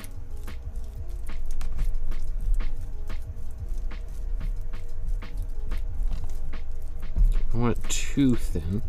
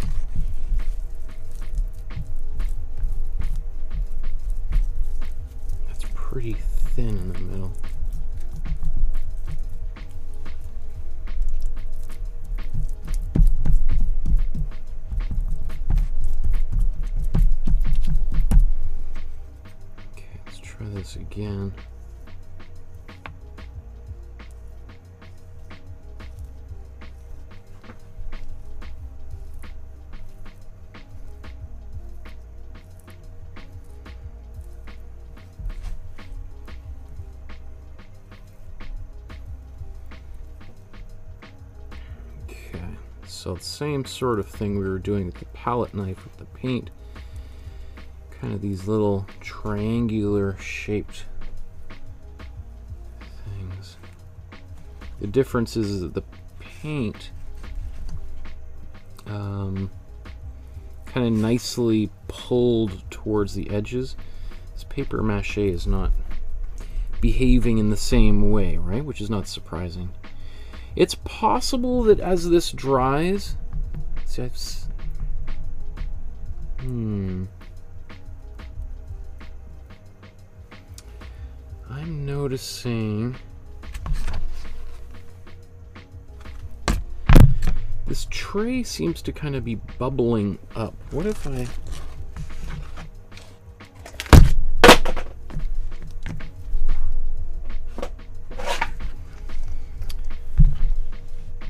took the tray from out underneath here. Now, it's okay if these pieces separate. I'm just going to glue them down. But the thing is, if it's really thin, my concern is as they dry, these could peel up and out. And I could end up having like an empty place and all of these kind of like little um, downhill skis or something end up forming.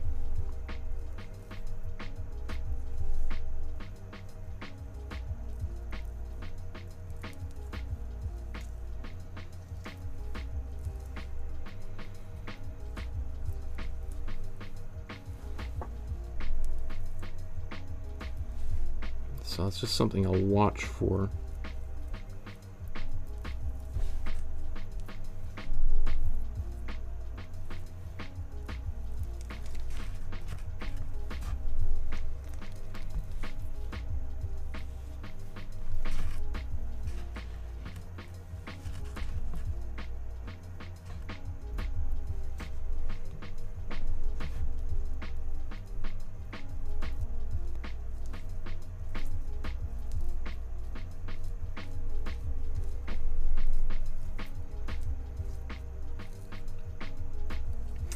You've never used Celluclay before, one of the reasons I chose this project is to use this material is unlike if we were trying to make a sculpture of a face or something.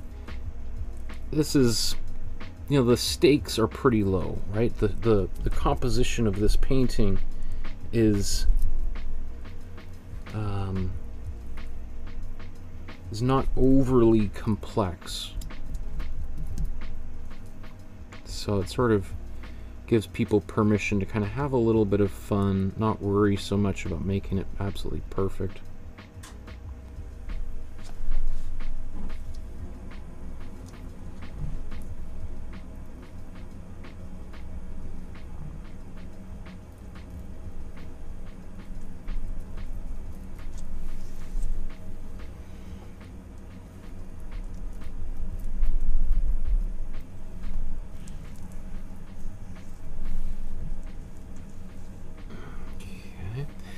Just trimming off some of this excess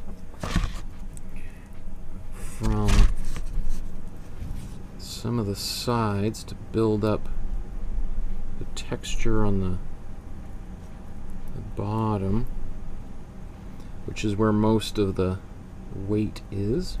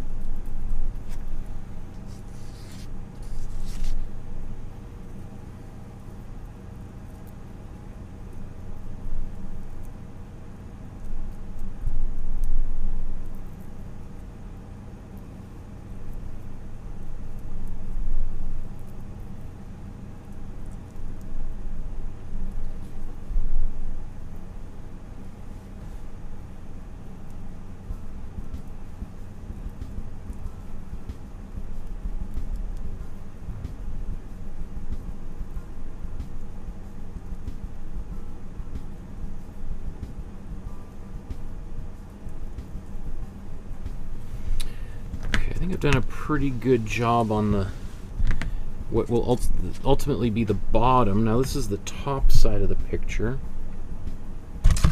So if I was to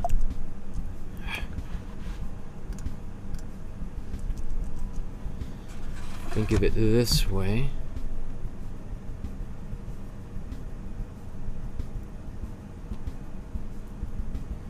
I can already feel the the consistency changing and becoming more and more stiff and less um, manipulatable, malleable.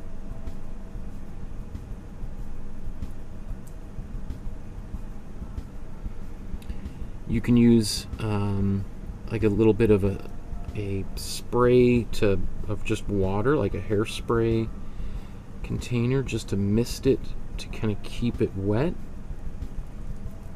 But uh, I think at the pace that I'm working at right now, I won't need it.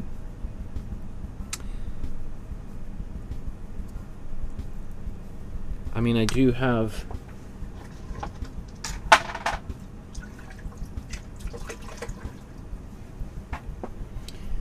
you know, a cup of water if I wanted to sort of take a little bit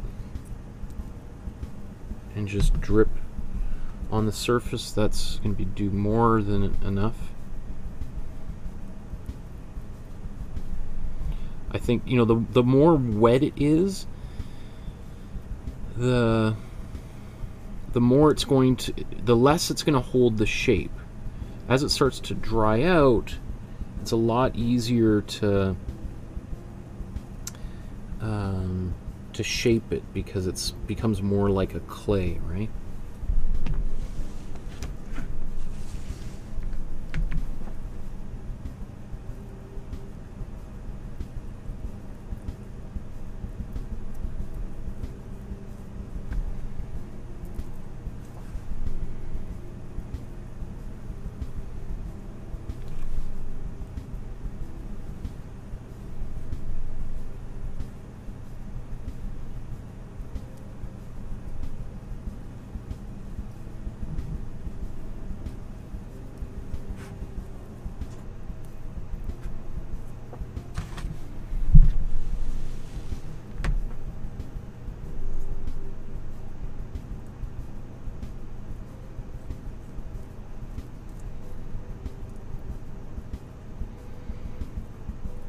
You know, I mentioned earlier, you can make your own version of Celluclay. You don't have to buy the brand name.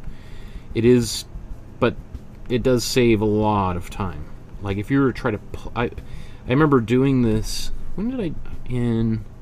I did have a class. I remember we did pulp, made it made our own pulp. God, that would have been a long time ago. I'm trying. I can't remember. When did I do that?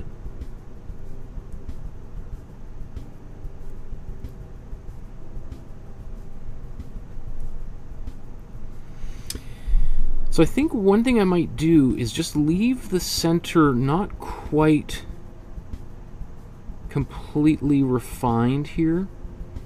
And then after it's dry, I can use like a, a chisel or in sandpaper, a knife to kind of gouge in here.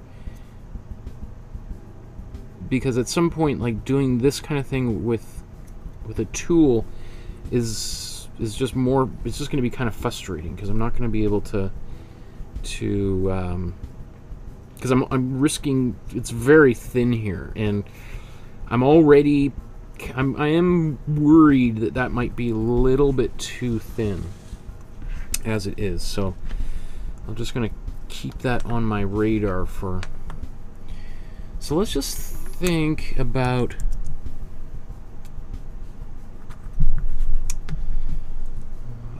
trying to get some of these textures in here.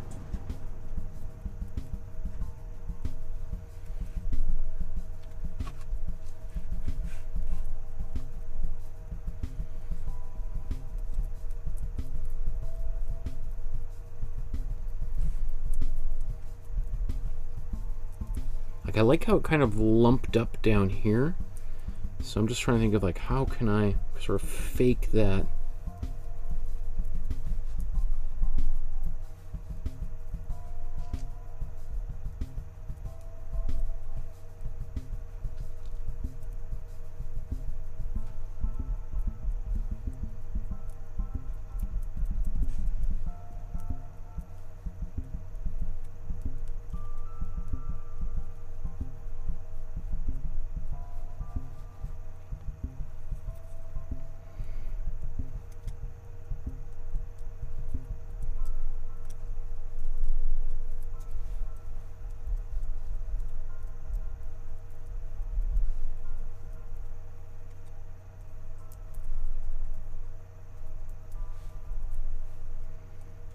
Can you imagine these being giant globs of oil paint?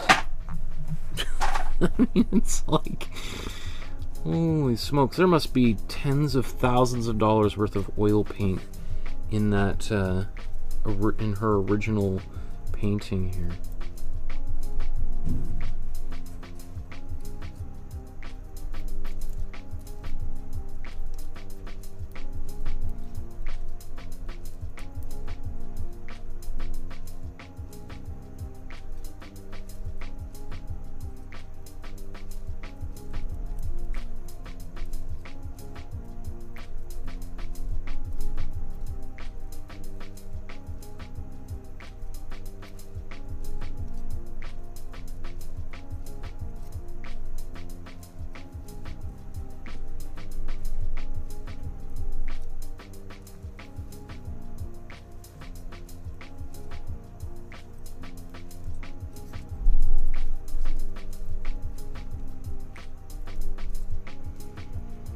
So obviously this is, you know, something I would not be able to do with my... Well, I guess if I want, if I wanted to spend hundreds of dollars in acrylic paint, I could probably do something like this. And are using lots of that heavy gel.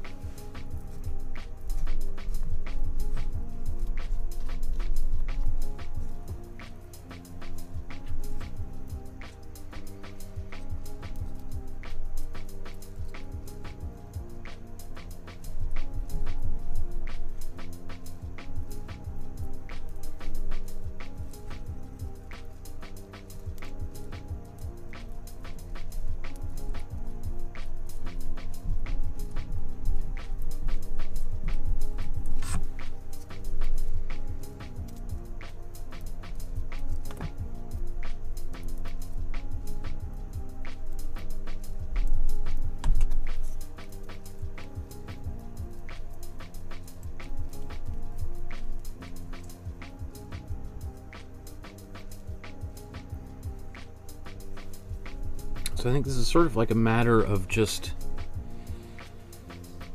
pulling, you know, digging in, smoothing, digging, smoothing. Another way might have been to take little bits of, of clay or the celluclay and kind of just almost like lump it into like triangular pieces. Um, now that I'm sort of working here, I could like, okay, that would have probably also worked. But towards the top here, we get a bit more of like a, um, almost like little balls and stuff. Like, makes me think of just chewing this surface up a lot.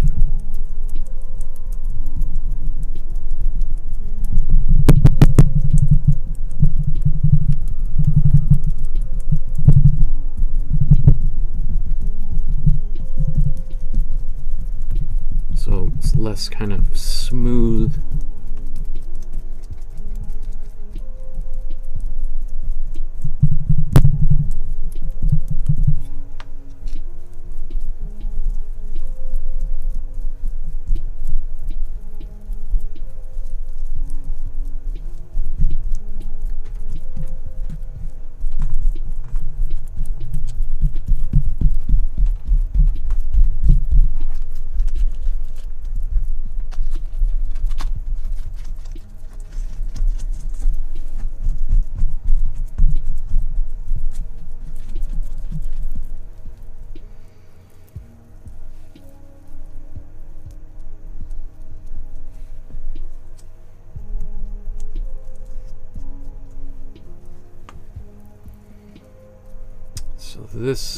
here, I just want kind of like a real, almost like rocks and pebbles. When I look at that top, I think of like the shoreline and the kind of little pebbles in the water and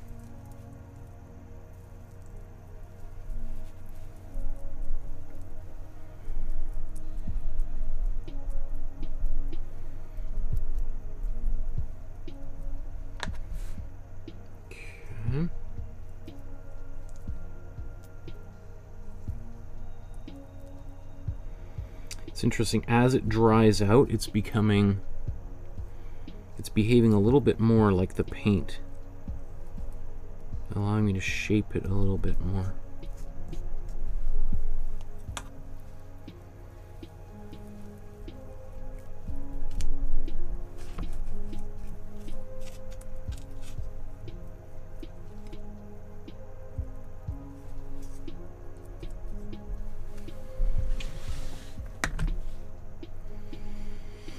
Could see someone doing a cake version of this. That would be pretty cool. Can you imagine? That would be for your, your art friend who's having a birthday. They might not even know what it is. They'd be like, oh, this is interesting. Did it fall on the floor while you were like, why does it have this weird texture? Like, you don't know who Jay DeFeo is? Look it up on your phone. And everyone's like, oh, wow, actually, it looks really good. Sorry.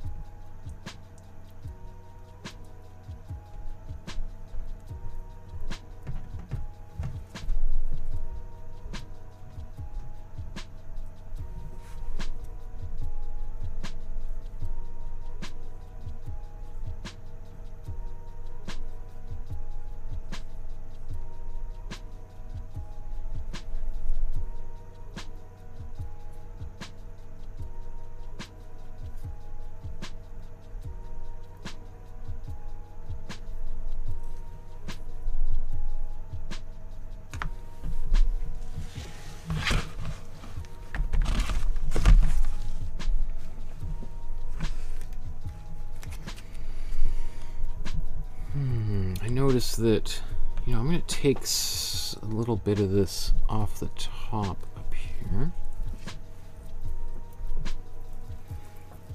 I'm going to keep building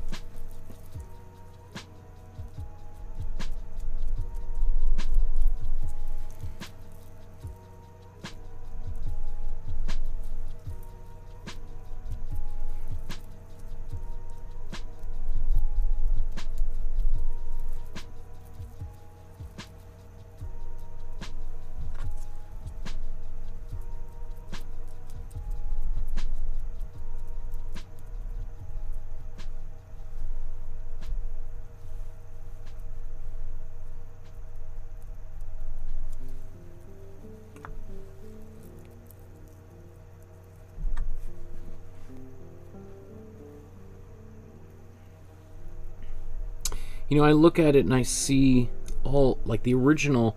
I see all of these, like it's it's. I've kind of almost oversimplified the the whole shape. It's it's quite complicated, and especially when we get up here towards the top, there's you know the the radiating part sort of kind of ends stops right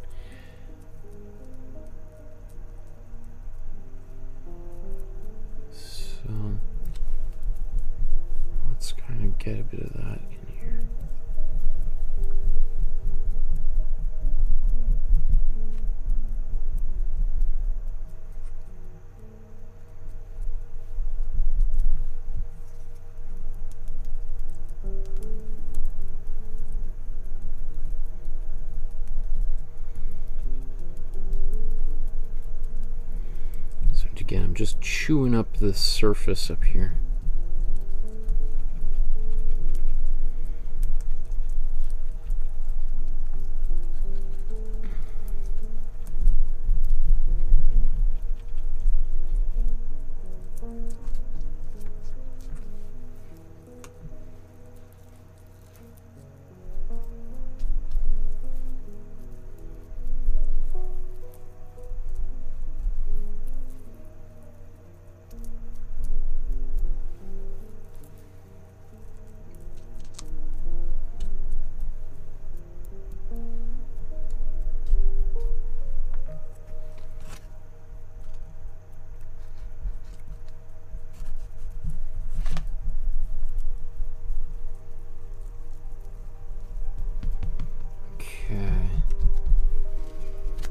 Starting to get the feeling I might be pretty close to being done.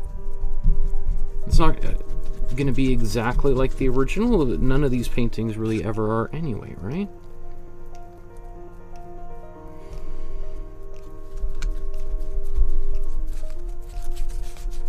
So I'm, I've never made something quite like this before. So I'm super curious to see how when it dries how it will ultimately kind of look. Uh, do I want to do any more? I think, again, I'm, once it dries, it, I'll be able to sand and chisel some of this. I even think I probably am a little bit thin in the middle.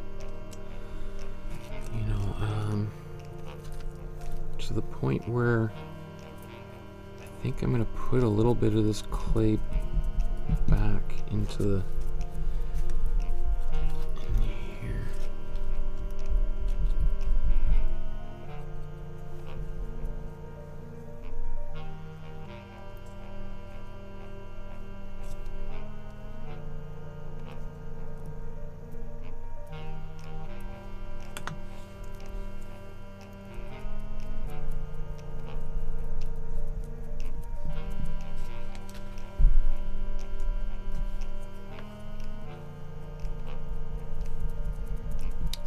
area where it's just so thin. I'm worried that uh, it's going to really uh, bulge and warp and do all sorts of weird things. If the if the thicker it is, the more I'm convinced it's going to dry a little bit more evenly.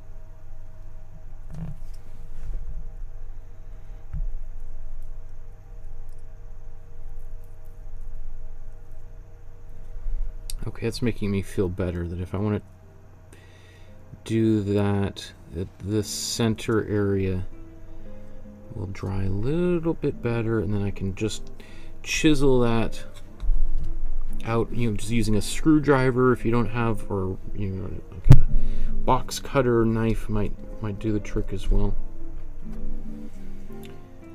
Some of this here is kind of thick.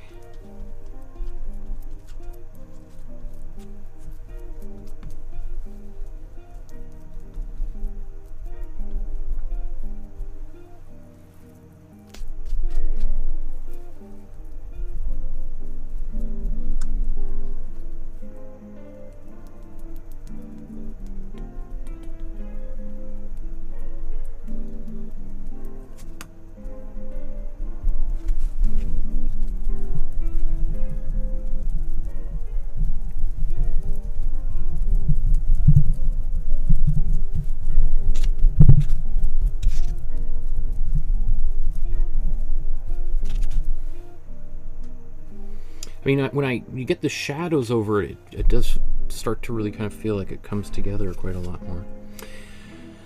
Okay, so I'm gonna let this dry. Now, I'm just gonna show just a quick, uh, a little bit about my, how I'm gonna clean up here, and then so then I'll sign off. Um,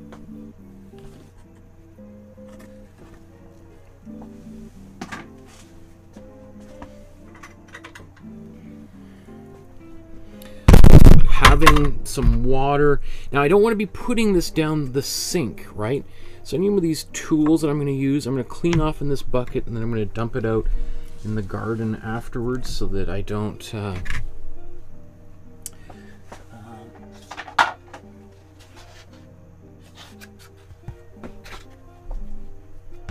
I think that's okay. It does bulge up a little bit in the middle. But that's something I can live with. Um,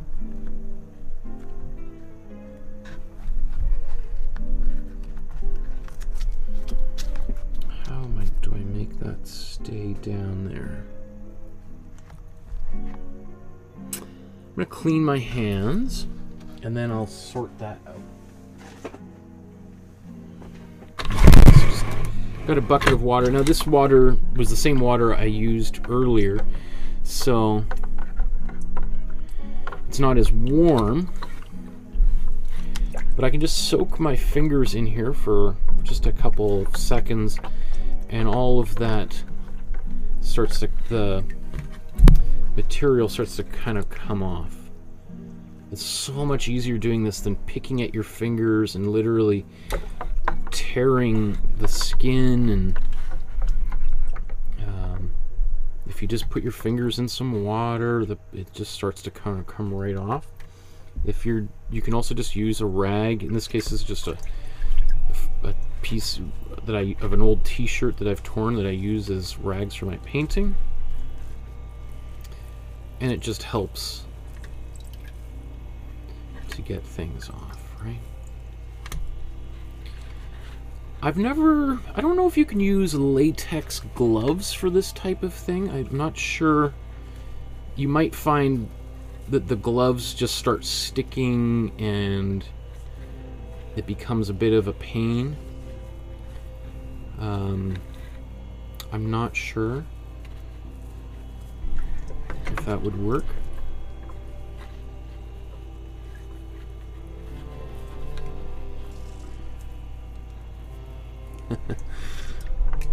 it does look like I made some pizza there. People talking about know, this image looking a bit like a pizza, putting pizza dough down there, rolling it out.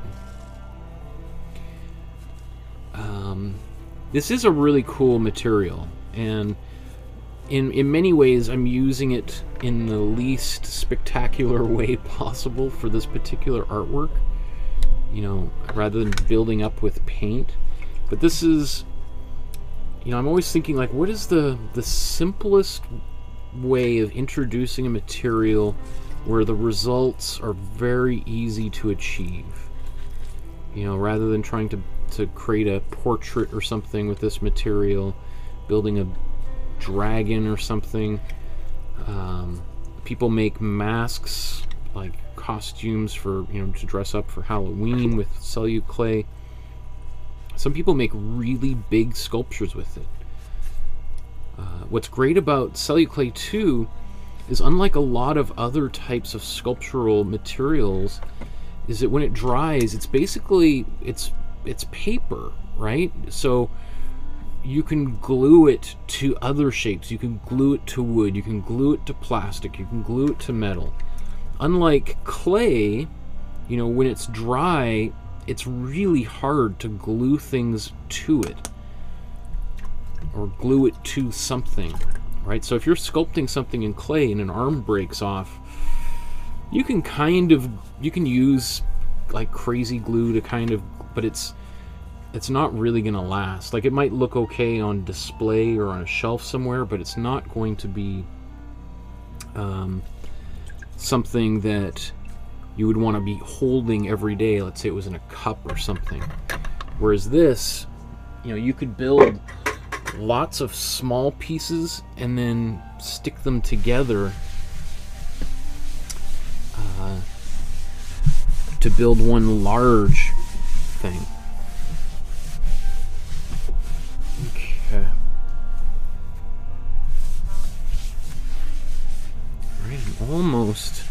Done here.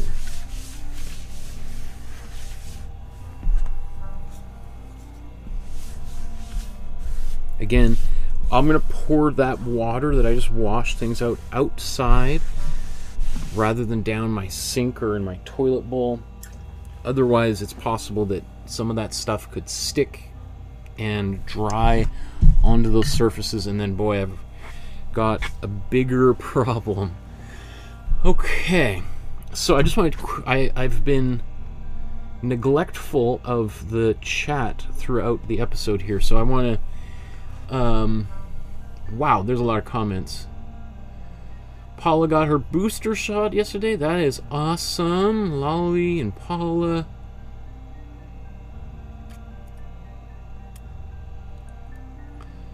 Oh, Lolly made a Facebook account so that she can post to the group. That's awesome. I mean, I guess, part of me, I'm conflicted about Facebook. I, I think it's debatable whether it's doing good things or bad things to the world, so, but uh, it is one of the easiest ways for us to connect, right? I know there's other platforms as well, but majority of people have a Facebook, so it's it helps us um, organize our community Ah, and there's Maria. Hi, Maria. Nice to see you. Um, Lolly says, lower your expectations for my work as low as possible. Oh, I bet you they're probably much better than you think they are, for sure. Lolly likes the ones where we get a little messy. Ah, Deborah says, I'm looking forward to doing this one. I already have all the materials because of the art projects that I do with my grandkids. That is cool.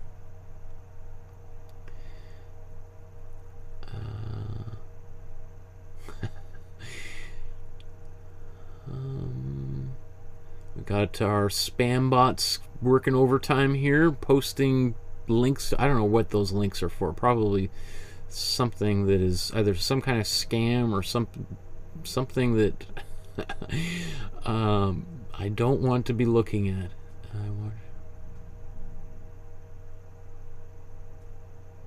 Ah, Maria watched uh, um, Nanette by Hannah Gadsby awesome. Thank you. That's great. I'm so glad you watched that, Maria. Hannah Gadsby is Australian stand-up comedian who did uh, a perform. One of her stand-up specials is called Nanette, and in it she takes Pablo Picasso to task. It's it's really great. I think um, if you haven't watched that, that would be a great Saturday evening Netflix. I think it's on Netflix um, thing to to watch.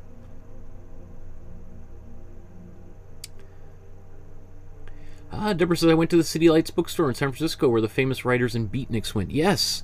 So, uh, did I? I didn't. I don't think I mentioned talked about the the beats. Meant to. Um.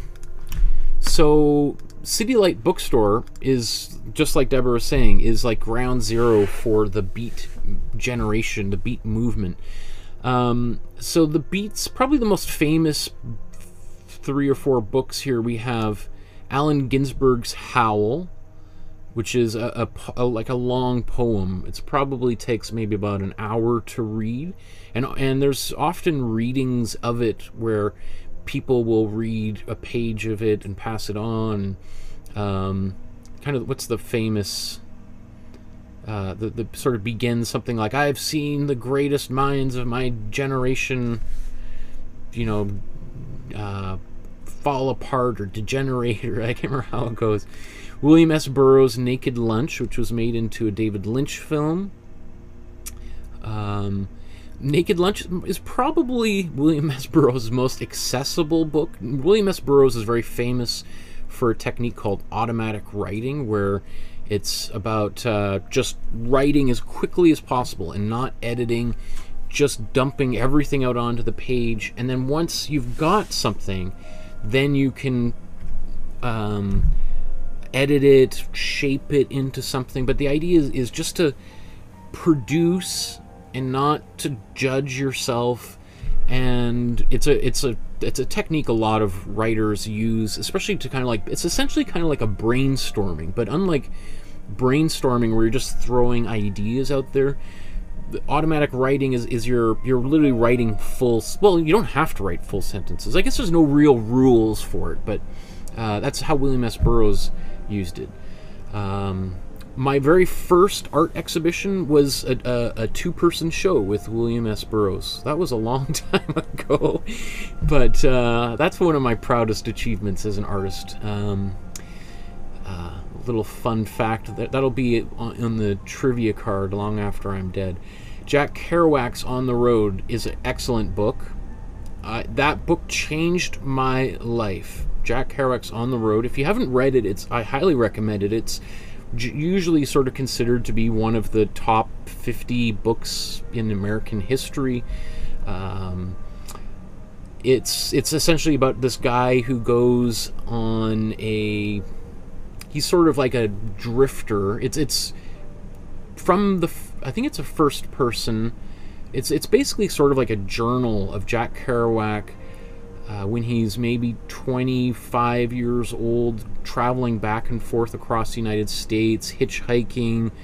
Uh, he's got his girlfriend with him, or I think his wife, and he he meets up with who be the the guy that becomes his best friend along the way, and uh, Neal Cassady, who's another um, who, who's sort of like the prototypical beat fellow, although wasn't very productive as a writer himself, but is like um, him and him and Jack Kerouac were best friends. Great, great book. I remember being super excited after I read that book. It changed my life. I got super excited about just the idea of traveling and, and life as art. I did reread it about five or six years ago and found it to be kind of depressing. um, because it's sort of like these guys who are going through this existential crisis as to like what is life about? Like what am i doing? Who am i?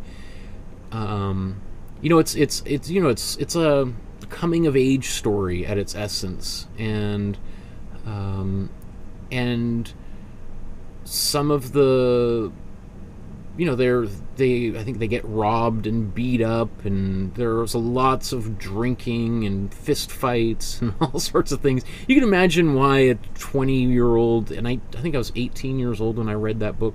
Why would it appeal to me? It's not really considered to be, you know, uh, probably very popular among women or young women. It's more of like a young man's book, I'm sure. Uh, but those are the, if you wanted to to read any three of those books. Naked Lunch is definitely a pretty weird book. Um, as as as much of William S.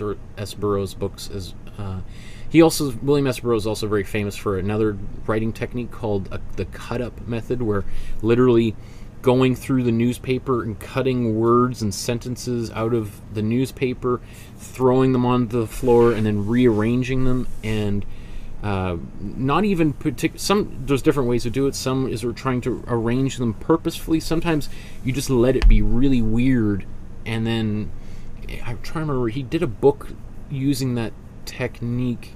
I think there's a little bit of that in Naked Lunch. Um, let me see. So really, there's you, you could see the, the the two main places are New York and San Francisco, and obviously Jay DeFeo is a San Francisco artist, uh, and she is really the most well-known artist directly associated with the beat movement. There are other visual artists who are who have sort of been um, kind of included or associated with that movement, the abstract expressionists being probably the primary group here.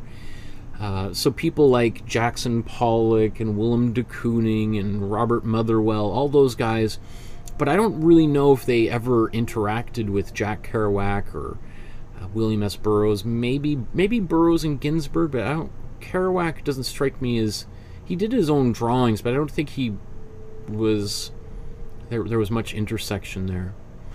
Um, let's see another thing here. So it mentions like Hans Hofmann, Philip Guston, who we looked at.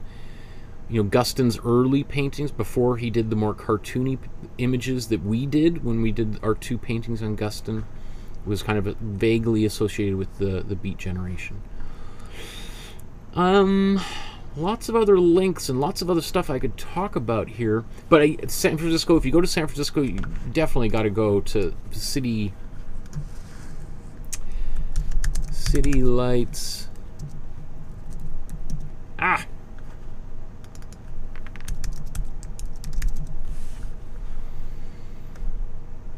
Right.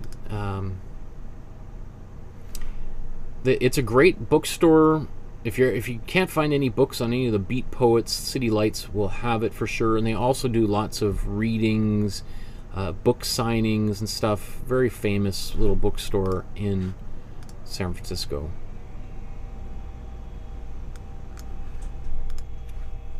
Um, so there's City Lights right next to the Coit Tower area. So this whole area was kind of ground zero for the um, the Beat generation because at that time it was a it was you know this is right by the wharfs. You know it's a it was a, a working class neighborhood. Now, and here's the San Francisco Museum Art. Now that area is is like some of the most expensive houses in the United States. Right, San Francisco is a very expensive city nowadays. Um,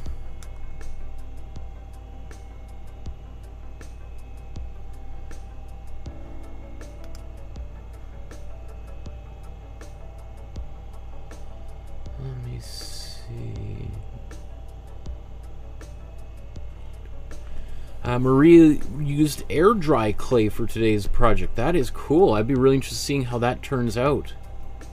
Lolly had never seen the Celluclay before. Um, that's great that we. I'm sure you should be able to buy that in in uh, England, because uh, that's where you are, right? So that should be feasible there. Um, it might not be the same brand, but I'm sure. You know, it's it's just it's like paper mache or instant paper mache, as it might be known.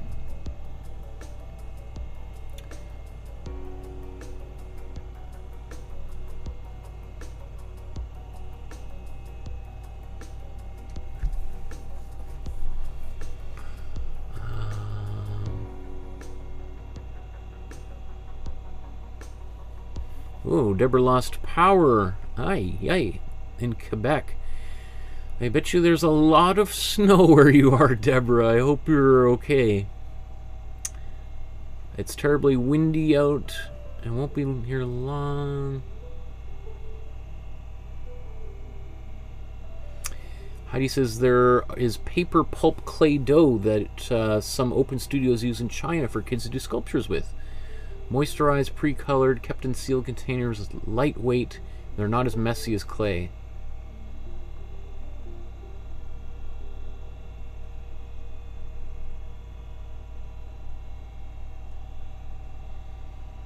Wow, so many so many comments here. I'm just trying to skip through because in case there's a question anybody has. uh, versus what about stuff called alien tape? I'm not sure alien tape. Is that like a gauze, like a plaster bandage of some kind? Let's uh let's look up alien tape.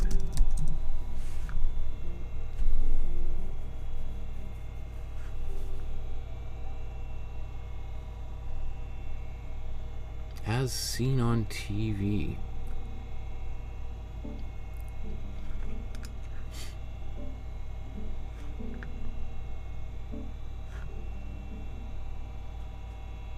Hmm. Oh, it's like you could stick it to different things. Interesting. Cool. There's a little free advertising for alien tape. I haven't. Versus, I have a thing for late night infomercials. um, awesome. Cool. Well, thank you everyone for painting, or did a little bit of painting today, I suppose. On Tuesday, we're going to be look. We're going to be painting a Christmas tree since Christmas is coming up, and I thought I would do some of the Christmas stuff prior to Christmas so that people aren't just furiously painting a Christmas tree on the day of Christmas and then have to put it away. So we'll do our Christmas tree a little bit before uh, Christmas this year. Um, and yeah, I'm going to post a question on the Facebook group just for people um, because I'm getting ready to do our our first few episodes redoing the intro to painting class again. So uh, after this episode goes, I'm going to post that question there, and I'd be very interested to hear some of your responses to that question around art supplies and what supplies you would recommend that maybe I've forgotten to recommend so that I can include them in that video, which I'm going to film in the next few days. So, Otherwise, thanks everyone for watching, for making art. Please take a picture, upload it to the Facebook group so I can see it. I think next weekend we're going to do an episode where we look at all the great artwork you've made. So get those photos up there so that I can give you some feedback and give you some congratulations because I'm sure it is in order and you're due for some congratulations for all the incredible work that you've been working on, right? Anybody who's making art is doing the world a service as far as I'm concerned. Uh, there's a PayPal link if you want to leave a donation. You can use the super chat here in YouTube. If you want to send a check or e transfer, contact me through the Facebook group or my emails on my website. Otherwise, we'll see you guys on Tuesday. If it's cold and rainy where you are, that's the case where I am for sure. Try to stay warm. Making a painting is a good way of keeping yourself warm. So check out some of the older videos. We'll see you guys in a few days. Good night, everybody.